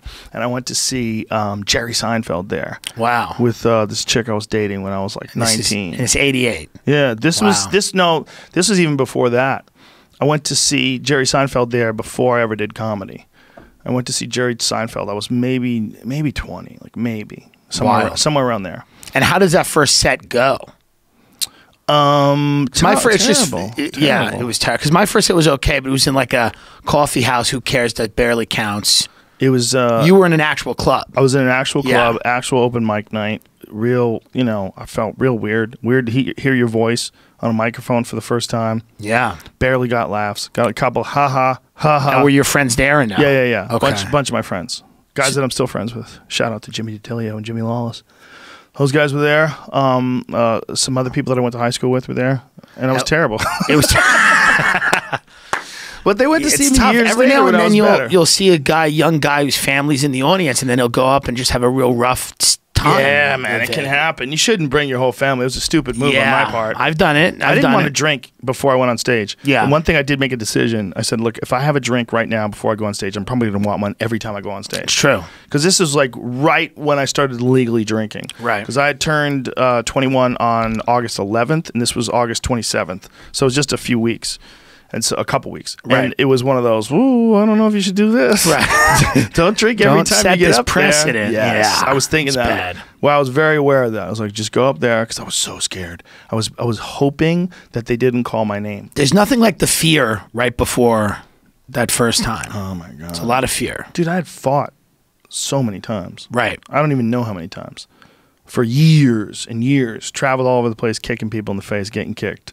I mean, I did that all the time. That didn't scare me as much as going on stage that first time. I was Right. shitting my pants.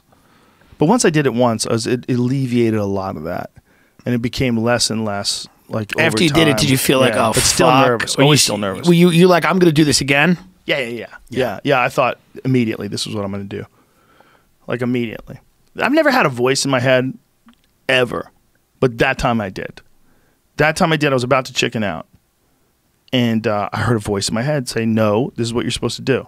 Now, clearly, I think that's my imagination, and clearly, I think it's probably me knowing that I was going to be a pussy. So come on, stupid. So I was probably talking to myself, Right. in, inside my head. But dude, it felt real. Yeah. it felt like a voice was telling me, uh, "Don't be a pussy. This is what you're supposed to do. Come Yeah. on, just do it." I think This a lot of people have This that. is what you're supposed to do. I think a lot of people have that. I think I, I wanted the first time I did it, I said maybe I should do it in a week. Maybe I'll be more prepared yeah, in a week. yeah, yeah. Maybe I'll push it off. But then you just go, I gotta just do it. Well, the host of my first open mic night was Jonathan Katz. Oh, yeah, a- Dr. Katz? Yeah, Dr. Yeah. Katz. Yeah, famous Boston comic, great guy. And um, he, uh, I put my name in for the list, but there's a lot of people on the list, and he wasn't sure whether or not I was going to get on. And sometimes people would sign up and then they would chicken out, right? So I'm in this position where he's like, I'm not sure if we're going to be able to get you up. So give me uh, a couple minutes and I'll know for sure. So during those couple minutes, I was thinking, I should just say, fuck this. I'm getting out of here. Right. You know, I'm, I'm shitting my pants. Right, right, and, right. And then he came back, and then I had that thought that said, no, this is what you're supposed to do. Come on. And you And I go hung in there, and then he yeah. came up to me. and goes, "Hey, I'm going to be able to get you up." And I was like, "Oh my god, here we go." Yeah. that's always the word, and that's the word, and that's happened to me where it's like they come up to you and you, you're almost waiting, you're ready for him to go, We can't do it tonight. And you go, Ah, Okay, it's great. yeah, Great, like, don't worry about you." it. But he goes, No, no, no, you're good. You're on next. And you're like, Fuck. Yeah, I think I had one or two people in front of me. That everybody was doing five minutes. One or two people in front of me where I could just relax. But it was amazing. You know, it's like it allowed me to get my feet wet. It allowed me to move my feet, and I and it was also the first time I'd ever been. I, I mean, first time I'd ever seen like legitimate professional stand-ups performing in a club Right. like that too. Right. Like in those environments with amateurs, like the first time I ever saw like the stark difference between a guy like me and there was this guy Teddy Bergeron who was this, another Boston legend. He's a Yeah. fucking animal. He was so Yeah. funny. And the there was a couple other guys would stop by those open mic nights back in those days, like pros, like local Yeah. pros. They'd do five ten minutes, just work some material out, just Right. stay stay sharp. There was always everyone was staying sharp. Yeah. You know, and you you- got to watch, that was the first time you got to watch that. You got to see that, and you're like, "Holy shit! Like you can get to this level." Yeah. Like you see like a real pro, all smooth, Yeah. the, and then you can see him- Murdering. See him, do that same joke again and again and again, and kind Yeah. of break down the mechanics of it. Yeah, and you say, Oh, okay, I get I get how mm-hmm. he's doing it. yeah, Yeah. That's a cool thing about the store as well. It's great. Yeah. We- we all get to watch each other work, and everybody's you know Tony Rock is different than Jeselnik, is different Yeah. than you, is different Yeah. than Joey Diaz. Right. Everybody's got their own style. you Everybody know? has their own style. I saw Joey Diaz the other night in the original room. Just he was like, it was like no one. I'd rarely seen sets like that, where it was like he was just so fucking in in a zone. Yeah. That it was like, uh, you, you- for that ten minutes, nobody was on the planet anymore. Yeah. Nobody was in the. You know, it was just like everybody had been elevated to somewhere else. It was wild to watch. He goes. And I was for it. happy I was not after him. Yeah, I was very happy I was not. tough spot, I was like, oh, there's, there's just two people. But then, then it's like, well, I'm gonna, I'm gonna go after him one day, not tonight. Yeah.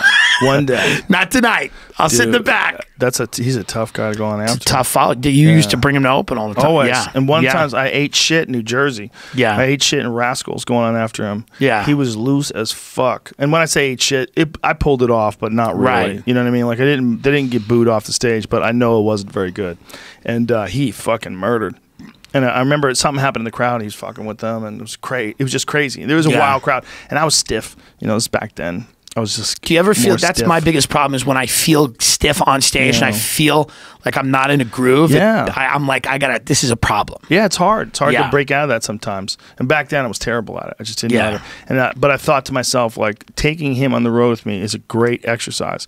It's like bringing a training partner with you that can definitely strangle you. Yeah. So you're forced to really up your game. You know, Yeah. if, you, if you're working with Joey Diaz, you can't. a lot of the great, You got to be sharp. a lot of really good comics, great comics bring openers that are, that are, you know, good. I think that's the move. Yeah. Because I've seen guys do the opposite and they do it on purpose. They do it, they think that what they're going to do is they're going to give people uh, like a shitty comic for like 15, 20 minutes and then they're going to go on after them and look like a hero. Right. I just don't. I don't think that's the way to go. No, I think it's also it doesn't help anybody because the shitty comics. The reality is, a lot of people that are really really shitty, they're not going to get much better. It's, they hit the ceiling. Yeah, I mean, it's occasionally people do. You can never say never because some people just figure things out. Some people have, you know, they start meditating. They fucking They turn it around. yeah, they turn it around. They Yeah. figure themselves out. They mature. Maybe they get their heart broken. Maybe they become a parent. That's a, that's a, min- a small minority. Yeah, small people. minority. Yeah. I mean, it's a small minority of any of us that make it.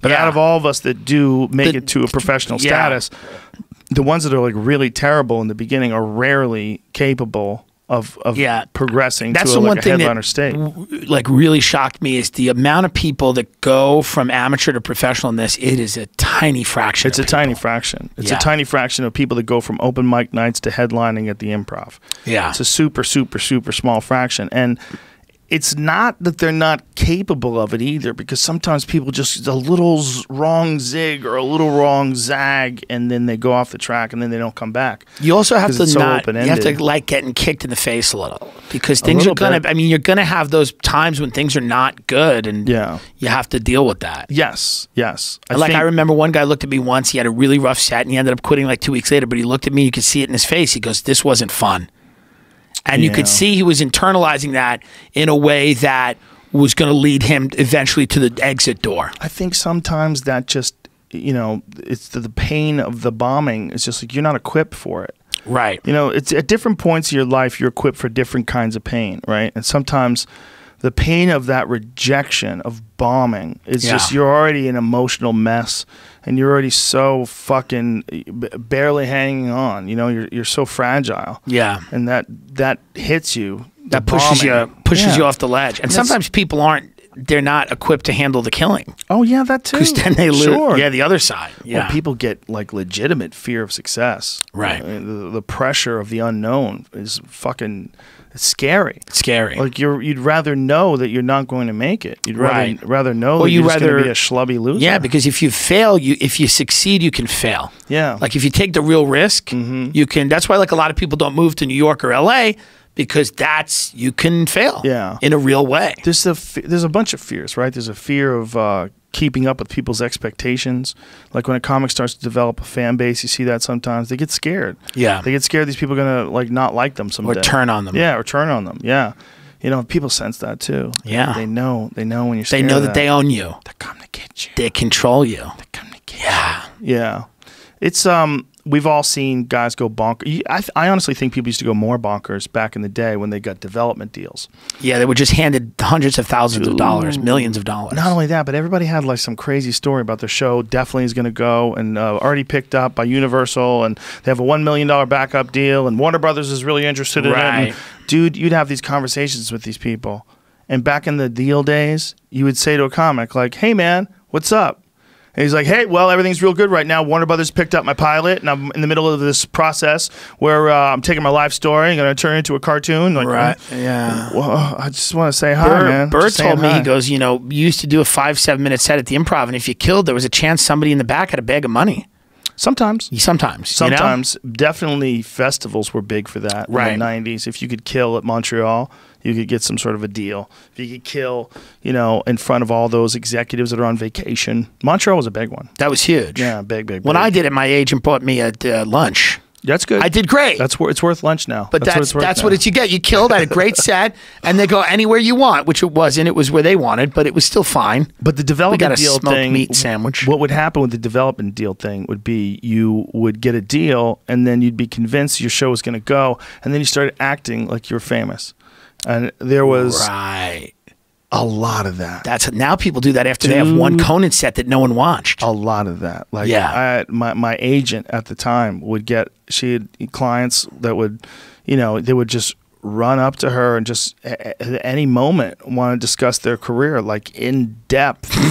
Like at the Laugh Factory, you know, phone calls at one o'clock in the morning. Like people were nuts, and they they started demanding that you treat them like the up and coming star that they know they are.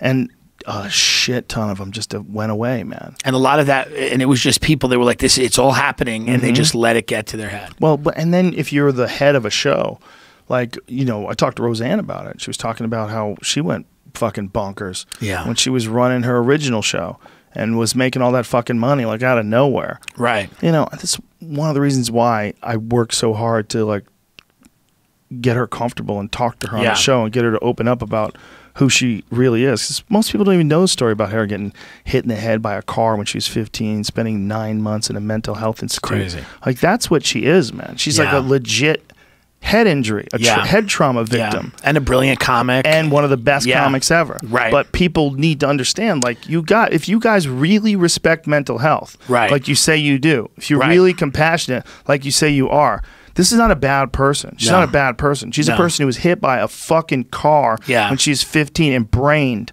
and she lost her ability to count. Yeah. She couldn't do math anymore. Yeah, she has challenges other people don't. But it's you know a lot of these people, you know, with Shane Gillis, you know, these are the same the guy on SNL. These are the same people that are like talk about mental health all day, and Mm-hmm. then they're tweeting this kid every single two minutes that he, Yeah. you know he should be.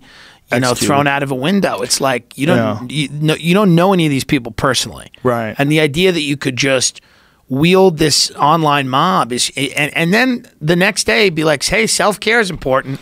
I know it's crazy. It's so hypocritical, but it's also like what we were talking about earlier about people leaving comments on your YouTube Yeah. or whatever. It's like I get it. I It is what get it is, yeah. I get it. Yeah. you know, and I, I don't think it helps to go back and forth with people. Yeah. I think it just inflames people. Right. But I, but I do get where they're coming from. Just like I get the people that are hating on Shane Gillis. Right. I get the people that went after Roseanne. That when Yeah. people see you limping, man, they start kicking you. Yeah, It's it's a normal part of being a person. Yeah. we've all seen it. You know, we've all seen. Uh, it's one of the uglier components of our nature. Dude, World Star Hip Hop's got some of the best examples of all time.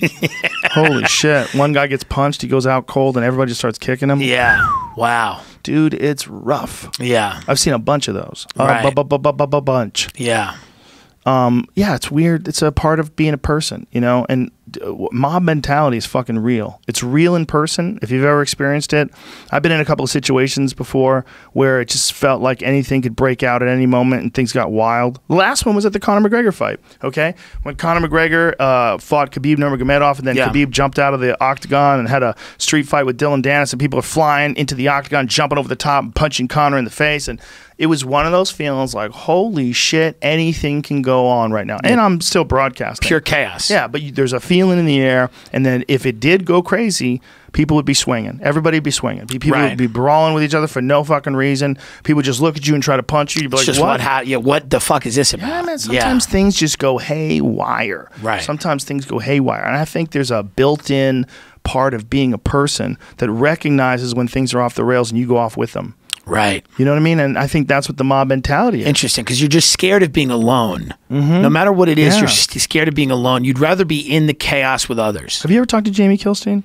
Not a little bit. Yeah, I know he follows me on Twitter. He's a, he's a nice guy. Very nice guy. He was a super duper social justice warrior, Right. and uh, they turned on him. Right. And you know he realized like oh my god this is what i was doing and he realized that like, he would go after people just to like get this charge of seeing people respond you know so This he would dopamine rush. attack a politician or Yeah. attack an actor and call someone a bigot or call someone a pedophile or whatever the fuck Whatever it is, What- yeah. i mean i don't think he did that but eh, whatever you wanted to call someone Yeah. he's just he's just trying to press a button and then the, the, the, the thing's coming back at you and then you get addicted to it Yeah, it's you get addicted dopamine. to this game Yeah. and we're all doing it Yeah. we're all doing it and what we need is not that there's anything wrong with it i don't think there's anything wrong with using twitter or instagram or any of these things. Don't get me wrong but i think we gotta spend more time just talking to regular people. I think Yeah. our race is slowly getting sucked into the machines these Do you think that maybe the next generation will be like eh, Luddites, or you know they'll be anti-technology, or they'll at least no no? There's no, shot, right? There's no chance that this the, the wave will recede a little bit and that people will recognize this. I don't think so. Yeah. I think f- a few people are screaming out while the herd of us is running towards a cliff. Yeah, my friend, my friend Jessa Reed, who's a very funny comic, her mother was saying, you know, you, she has daughters. She goes, you know, you let the kids on the phones too much. She goes, mom, in ten years they're going to be the phone. Yeah. She was like, the phone's going to be inside of them soon. Yeah. So it's like, well, I- I- well I what am know I what to do. fighting? You know, Yeah. what am I fighting with? I limit my kids' time on the phones, except the older one, of course. Do you? Do you just go up to her? You're like, you, I just don't think that um, it's Do you a, a control the challenge that we- content, or- yes. yeah. I just don't think it's a challenge that we ever faced. are they allowed to watch Infowars? Oh, all, all day. That's Good. all we have. Thank God. Yeah, we pro- project it. um, what what else is um, the the keys? Uh, screen time. Screen time's a big key. Yeah. Um, tell her about Epstein. Epstein didn't kill himself. That's big. You got to tell them that before they start googling and Yes, for themselves. They got to know. They They, gotta got to know. know. It fucks up your sleep when you're on. A, I fall asleep to a podcast. You're gonna laugh. Oh, that's not I used to fall asleep to Alex. I would listen to Alex's clips on YouTube, and I would fall asleep to just, uh, ladies and gentlemen, you know, uh, and I, I would be able to put me to sleep. You know what I think his best video is to this day? He's the one of the greatest entertainers of our time. You got to, but you got to Yeah, watch him. 100 When I first met him, Yeah. he wasn't the I've been Alex listening to him Jones that since people see today. And I think GCN, the yeah. Alex Jones that he is today is changing because of his not being, uh, not drinking. Well, He's in. Oh yeah, interesting. Yeah. Yeah, because he's clean for 90 days. Interesting. Like, he sounds Yeah. different. But what I'm thinking is when I first saw like 9/11 Road to Tyranny it was one of the first videos that I ever watched. I was like, whoa.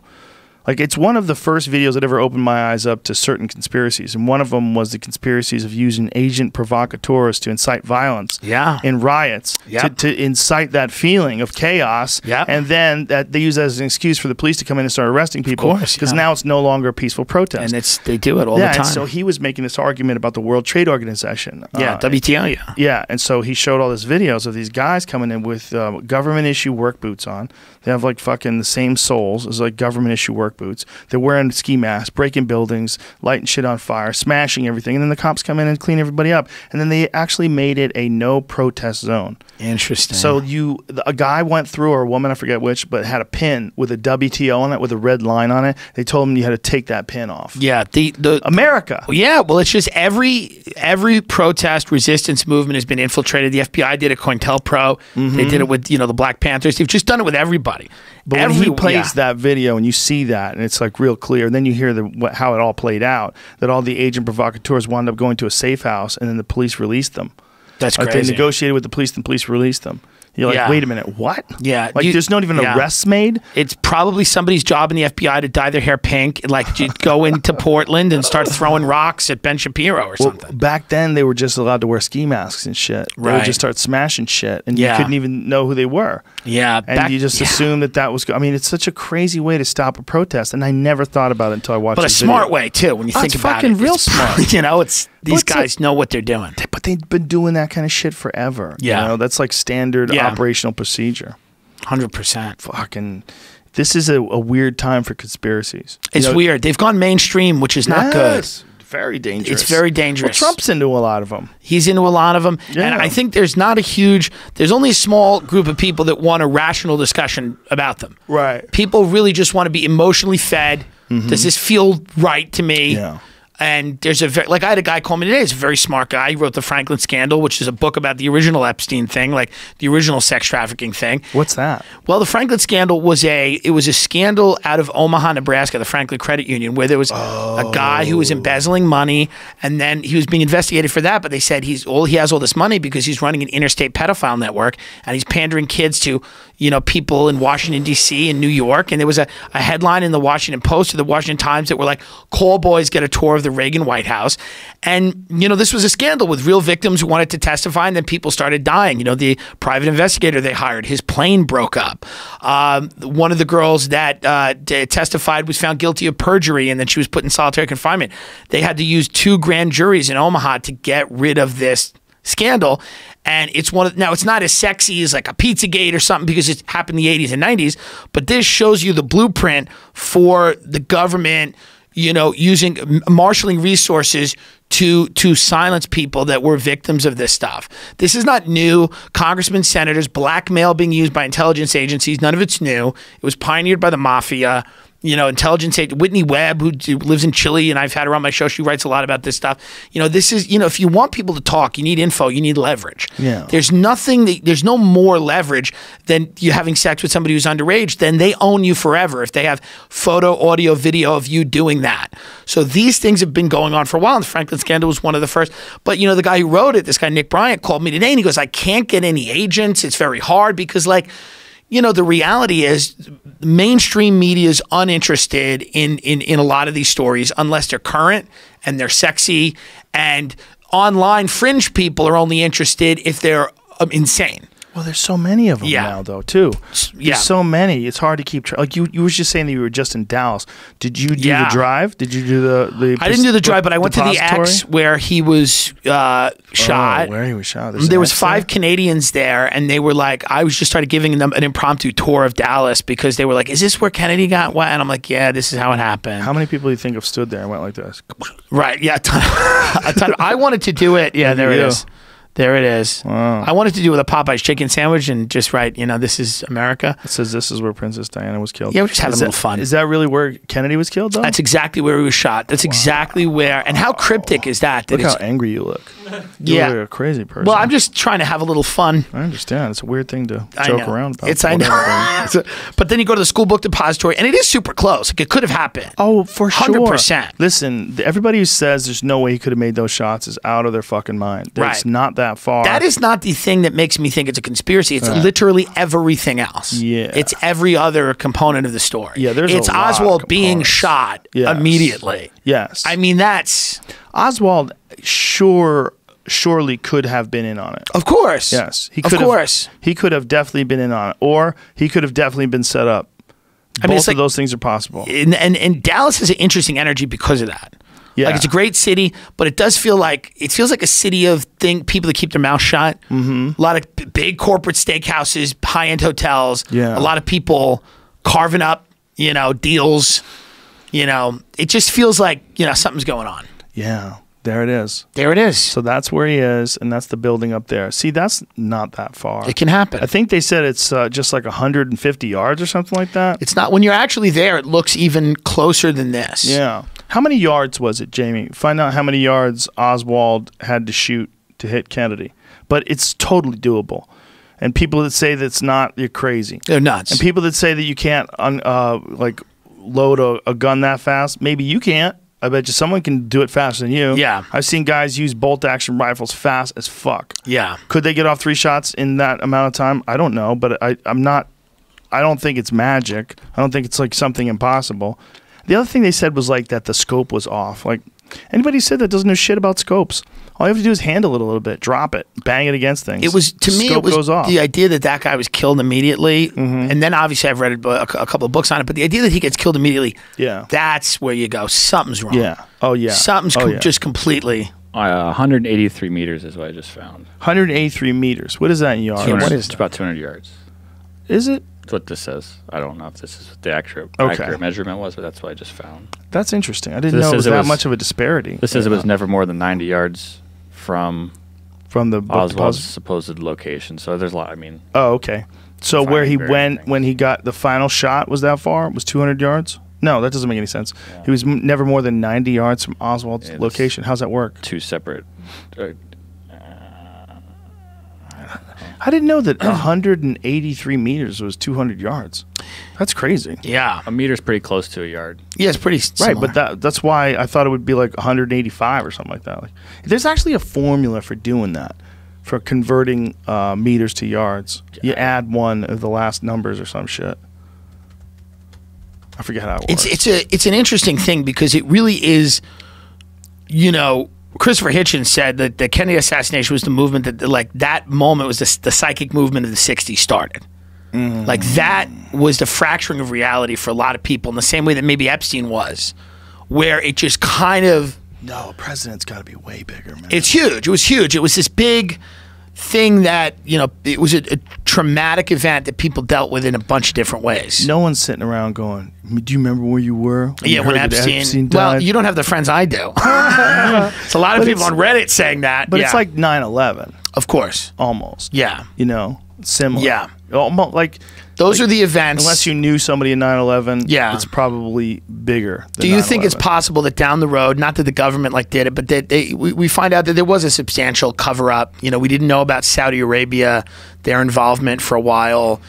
There's Oh, for 9/11? Yeah. Is, do, do you think it's possible that we just you don't know the whole story? It's totally possible. I yeah. don't. I don't have any idea what was being done or who was involved. And Yeah. I know that there was a bunch of hijackers and they flew planes into those buildings. But who was behind that? Who the fuck knows? Yeah. How would we know? Like, Great question. What Yeah, part of you know what part of Saudi Arabia where they all came from? Like who? Where'd they get their orders from? Like how Yeah. they how they organize this? I mean, Yeah, I think they know. know. a certain amount, and I think a certain amount they'll probably never know. Yeah.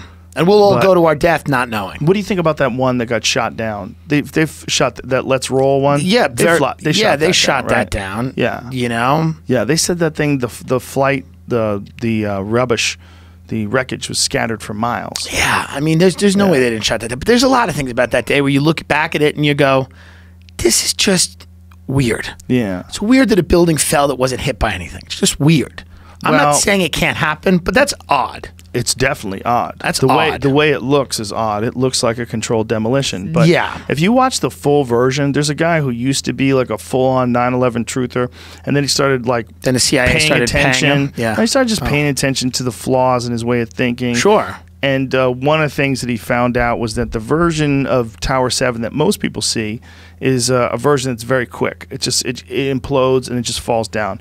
But for minutes before that, you can watch the center of the thing collapse inside of it. Oh, And the- interesting. and the way, Okay. have you ever seen that version? I've never seen that version. Pull up the Can we full see that one? version. Yeah, it's very interesting. Full version of Tower Seven collapsing. Yeah. See if you wanna find one that well, because the includes 9/11 people center. get so crazy. They're Yeah. like, there were no buildings. It's all holograms. There were no Ah, planes. New no York planes, doesn't exist. missiles. You know, I mean, it's it's nuts. Yeah, But I want to see the uncut Building Seven because maybe a plane hit the Pentagon?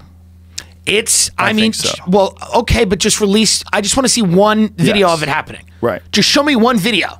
Do you think they have a video? Is There's 80 cameras on the Pentagon. Just show me one video of it happening. I Isn't think there it one probably video happened. of a plane hitting the Pentagon? There's one, but it's very weird. The frames are Yeah, very yeah, weird. Yeah, yeah, yeah, it's weird. I, just show me the video. I. I want to believe a plane hit the Pentagon. The rover on the fucking moon is taking beautiful video. This is what I'm saying. this is the problem. You this is the fucking issue. camera. You imagine if you have a sh- some shit that's like a thousand times worse than a, a Yeah. like one of them doorbell cameras. Yeah. they got a thousand times worse, and it's viewing the Yeah, goddamn Pentagon. Pentagon. They're, they're putting it together from cell phone cameras. I get. I understand that that it was technology was different. Just show me a video of a plane hitting the Pentagon, and I'm good. I'm with you. what do you think it could be? A missile? I don't know, but I just want to know why we just there's no one video. We got to see a video. Isn't that crazy? Why am I crazy for saying, can I just see one video of the thing happening that you said happened? Well, did you know that maybe this is not true, and Jamie's going to be checking this one out soon. Um, the area in the Pentagon that got hit Was refortified. was the same area where they were doing the accounting. Yeah. where they were trying to figure out where the trillion dollars is missing that Yeah. Rumsfeld was talking about Well- on camera. Just the, I think the day before, right? Wasn't yeah, he? it's an interesting situation. Didn't he say that there's like missing money? Like they're yeah, trying and to like figure Rums out. wasn't Rumsfeld like out on the lawn? Like these people Yeah, yeah. are what are they doing? They're just uh, doing. You're not in a bunker, you're out on the lawn. I don't know what happened. I mean, listen, It was something crazy, like trillions of dollars. Two point three. it's a 2.3 trillion. Oh my god! I mean, you know, and so the next day, to see if that's true that that area of the Pentagon know how to that held that the accounting. I don't think they tell you what. Just see if you see if you can Google the area of the Pentagon that was hit contained the accounting offices. Jamie, I, I believe, but I I don't believe the dark web will tell have you it. that. The dark I- web will have it, Jamie. feel like I read that though. I, I, I know the I, I understand your suspicion, Yeah. but I just like you to just. I'm, I'm trying to lie. I, already I was heard trying that to look. Building just Seven think- had a lot of financial records in it. that's what That's I heard. what I heard. That's what I heard. Is I it don't- Enron? NSA, I don't know. CIA? All the satellite dishes that were pointed at Epstein. Listen, here's the thing with the way I look at conspiracy. I don't want to believe in any of them. Right. That's the whole thing. Like, I want there to be a plane hit the Pentagon. I want, I want it all to be what it is. I, I have no now that investment. we know that a bunch of elites were going to an island to have sex with underage girls. yeah, there's of course they they could do whatever. They don't but we, care. we also know, like, hey, how much of this is true? Like this Right. is this is a wacky one. Yeah. This is one that if you told your mom Yeah. like ten years ago, she'd be like, Timmy, you're back on the drugs. yeah, yeah, she would. Yeah, She'd be like, the fuck is wrong with you? No one's going to an island to fuck kids. Right. But it's the same thing. It's like now that that's on the table, you look at other events and you're like, well, we don't know No. necessarily how all of these things happen. No, we don't know. We don't know. We, don't just, know. We just have to go. There's listen. There's conservative fire fight like fire companies from Queens, Right. from out by Long Island that like because they've gotten sick and stuff have demanded like a new investigation. And these Hmm. are not like crazy people. These are people that just go, listen, we're all dying from first responders and things. We just, you know, we want to know exactly what the hell we breathed in and what the hell's going on. Well, it's all the uh, burning chemicals from the, the basement of the building, right? Wasn't that the I idea? guess Those fires burn forever. I guess those- that's what it is. Yeah, those guys got so many of them got sick. So many of them got Yeah, cancer. it's horrible. It's horrific. It's really, it's You really know, fucked D- up. Donna Summers died from that. Donna Summer, the disco person. Yep. Well, I don't really care about that. Hot stop. I'm kidding. Don't. What? How dare I you. like her. She was amazing. She's great, but how did, was she saving people at 9/11? No, no, no. She had an apartment that was near the, the site of the like buildings. Donna Summer's running into the building. Dude, I think you live down there, man. If you have an apartment down there and you You're can't still move, fucked. you're breathing that air, man. Interesting. She died of lung cancer, I think. I, I, I thought she was a smoker. Don't think she was. I thought she would just smoke cigarettes and you know do coke and live a fun disco How life. dare you? I think she found the Lord. I had no idea she was a first responder. After she, uh, you know, she gave up on all that hot love. She was going through the Lord. wreckage. Yeah, no, God she bless was her. not going through the. She was wreckage. just living She was just living in her apartment. Okay. I think that's the the idea. Of course, people. I'm, there, there are people that are probably very sick. Oh yeah, man. Yeah, it's a tr- and they were lied to about the risks. Well, I don't think anybody knew. That's 'Cause nobody had ever had to endure a, an inferno in the basement of a gigantic building in a Yeah. metropolitan city that lasted for weeks. It's crazy. Right after planes crash, all the dust is in the air, all the fucking pollutants, and Yeah. particulates, and everybody's br- breathing all that shit in. I mean, you got to go back to work eventually, right? Yeah, So when you go back to work, a week later, two weeks later, guess what? The air's still fucked up. Yeah. Well, I'm sorry to hear about Donna Summer. Yeah, I'm pretty sure that's correct. Yeah, But I'm Listen, wrong a lot. Can we see? A can you pull up a video of Donna Summer breathing in the fumes at Ground Zero? Oh, you fuck. She's great. I saw her at Jones Beach. She was really good. Did you? You saw I her saw her at live? Jones Beach live. Yeah, What she was was great. this? She was she was older. She had you know she was it was her comeback. It was like the 2000 and Donna uh, Summer blamed 9/11 for lung cancer. It was like 2000. She was coming back. She released an out like a greatest hits album. You and your ad blocker, you son of a bitch. Those ad blockers. Yeah, They- my, my producer. Ben has them too, and he's always got a. that. Donna Summer 9/1 9/11 gave me cancer. Well, that's not a fun song, is it? No. That's not a fun song. Donna song. Summer was convinced that inhaling toxic air after 9/11 gave her the lung cancer that eventually killed her. TMZ has learned. Source close to the singer tells TMZ, who we're hearing this morning, that Donna was in a New York in when New York City during 9/11, living at an apartment near Ground Zero. Donna Yeah. became almost paranoid about breathing the air, which was heavy with a rancid odor. Oh, gotta move. You gotta move. Oh gotta oh my move. God. In the months and years following 9 11, Donna's feelings intensified. One source tells us that when he was around Donna, she would constantly spray some sort of disinfectant in the air. Deney Terrio, the horse, host of Dance Fever, tells us when he was around Donna post 9 11, she would hang six sheets in her dressing room to prevent dust from coming in. Well, oh my God, dude. She sounds like she did die of it. Yeah, And she also she sounds like she's being annoying in the end. she sounds like she's being a little annoying. With her sheets. It's a little annoying, Donna. Um, I, uh, yeah, I guess she probably didn't have the money to move. I mean, I don't know. You would think Last Dance. I mean, this. But yeah, my dad saw her once performing in bars. It was rough. Sometimes people just spend all that money, man. Yeah. They have nothing left. It's tough, man. It's a tough. It's a marathon career. Well, especially music, and ba- back then, like who knows what kind of fucking crazy contract they were under. Oh, they were under You some. know? Yeah, yeah, they- where like you only get a certain percentage, everybody else gets all the real royalties. Taylor Swift has that right now, right? got something like that. She's got a problem. Yeah, someone owns the rights to her song, and she she's not allowed to play some songs, and and she was she was uh, complaining on Twitter, telling. But, but I guess it's like someone buys the rights to and your that's song. it. You, you, it is what it is. Yeah, like if you're an artist, and I think I think it's her I think manager, it's Scooter. her, her former manager, right? Her former manager bought all the rights to her music. Yeah, man. There's like it's what a, it is, It's a you know? dirty It's a dirty game. That's They- the dirtiest. This game. is what it is, though. This Don't is you think? In all of Hollywood, that's the dirtiest game. Um, Because they they take a full 360 deal. Like they'll they'll take your yeah, everything. That's a dirty game. Child acting seems also rough from some Mhm. documentaries I've seen. Oh, that's the roughest. That right. seems rough. The I was a child actor, but I failed. I didn't even make it to LA. I mean, I was doing like I was doing shows in Long Island, you know, high schools. Oh, good. It was rough. Thank God. Yeah. So you got a taste. I was a uh, yeah. I got to take. I mean, I like- auditioned for big thing, and I was a good-looking kid too. I mean, that was I peaked at like when I was like seven and a half, and then it's Mm. been just a steady decline. But the the thing is, kids that go into that, they're it's bad.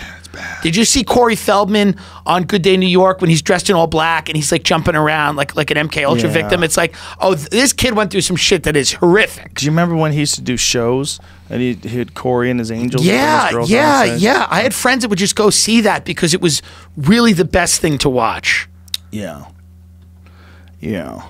It's um. But music is You can't. shitty. Nobody gets through. Nobody gets through. You don't make it out of this town alive, really. No. They'll eat you. This town Not- will eat you alive. Not like that. You don't. right. Not like that. You don't. This town will eat you alive. Yeah. Yeah. But we got to. You still got to stay. You can't leave. You can't escape to some beautiful, Yeah. quiet luxury. Because you set a great example. When you're gone, it'll just be you know, Mm-hmm. God only knows who's going to step in.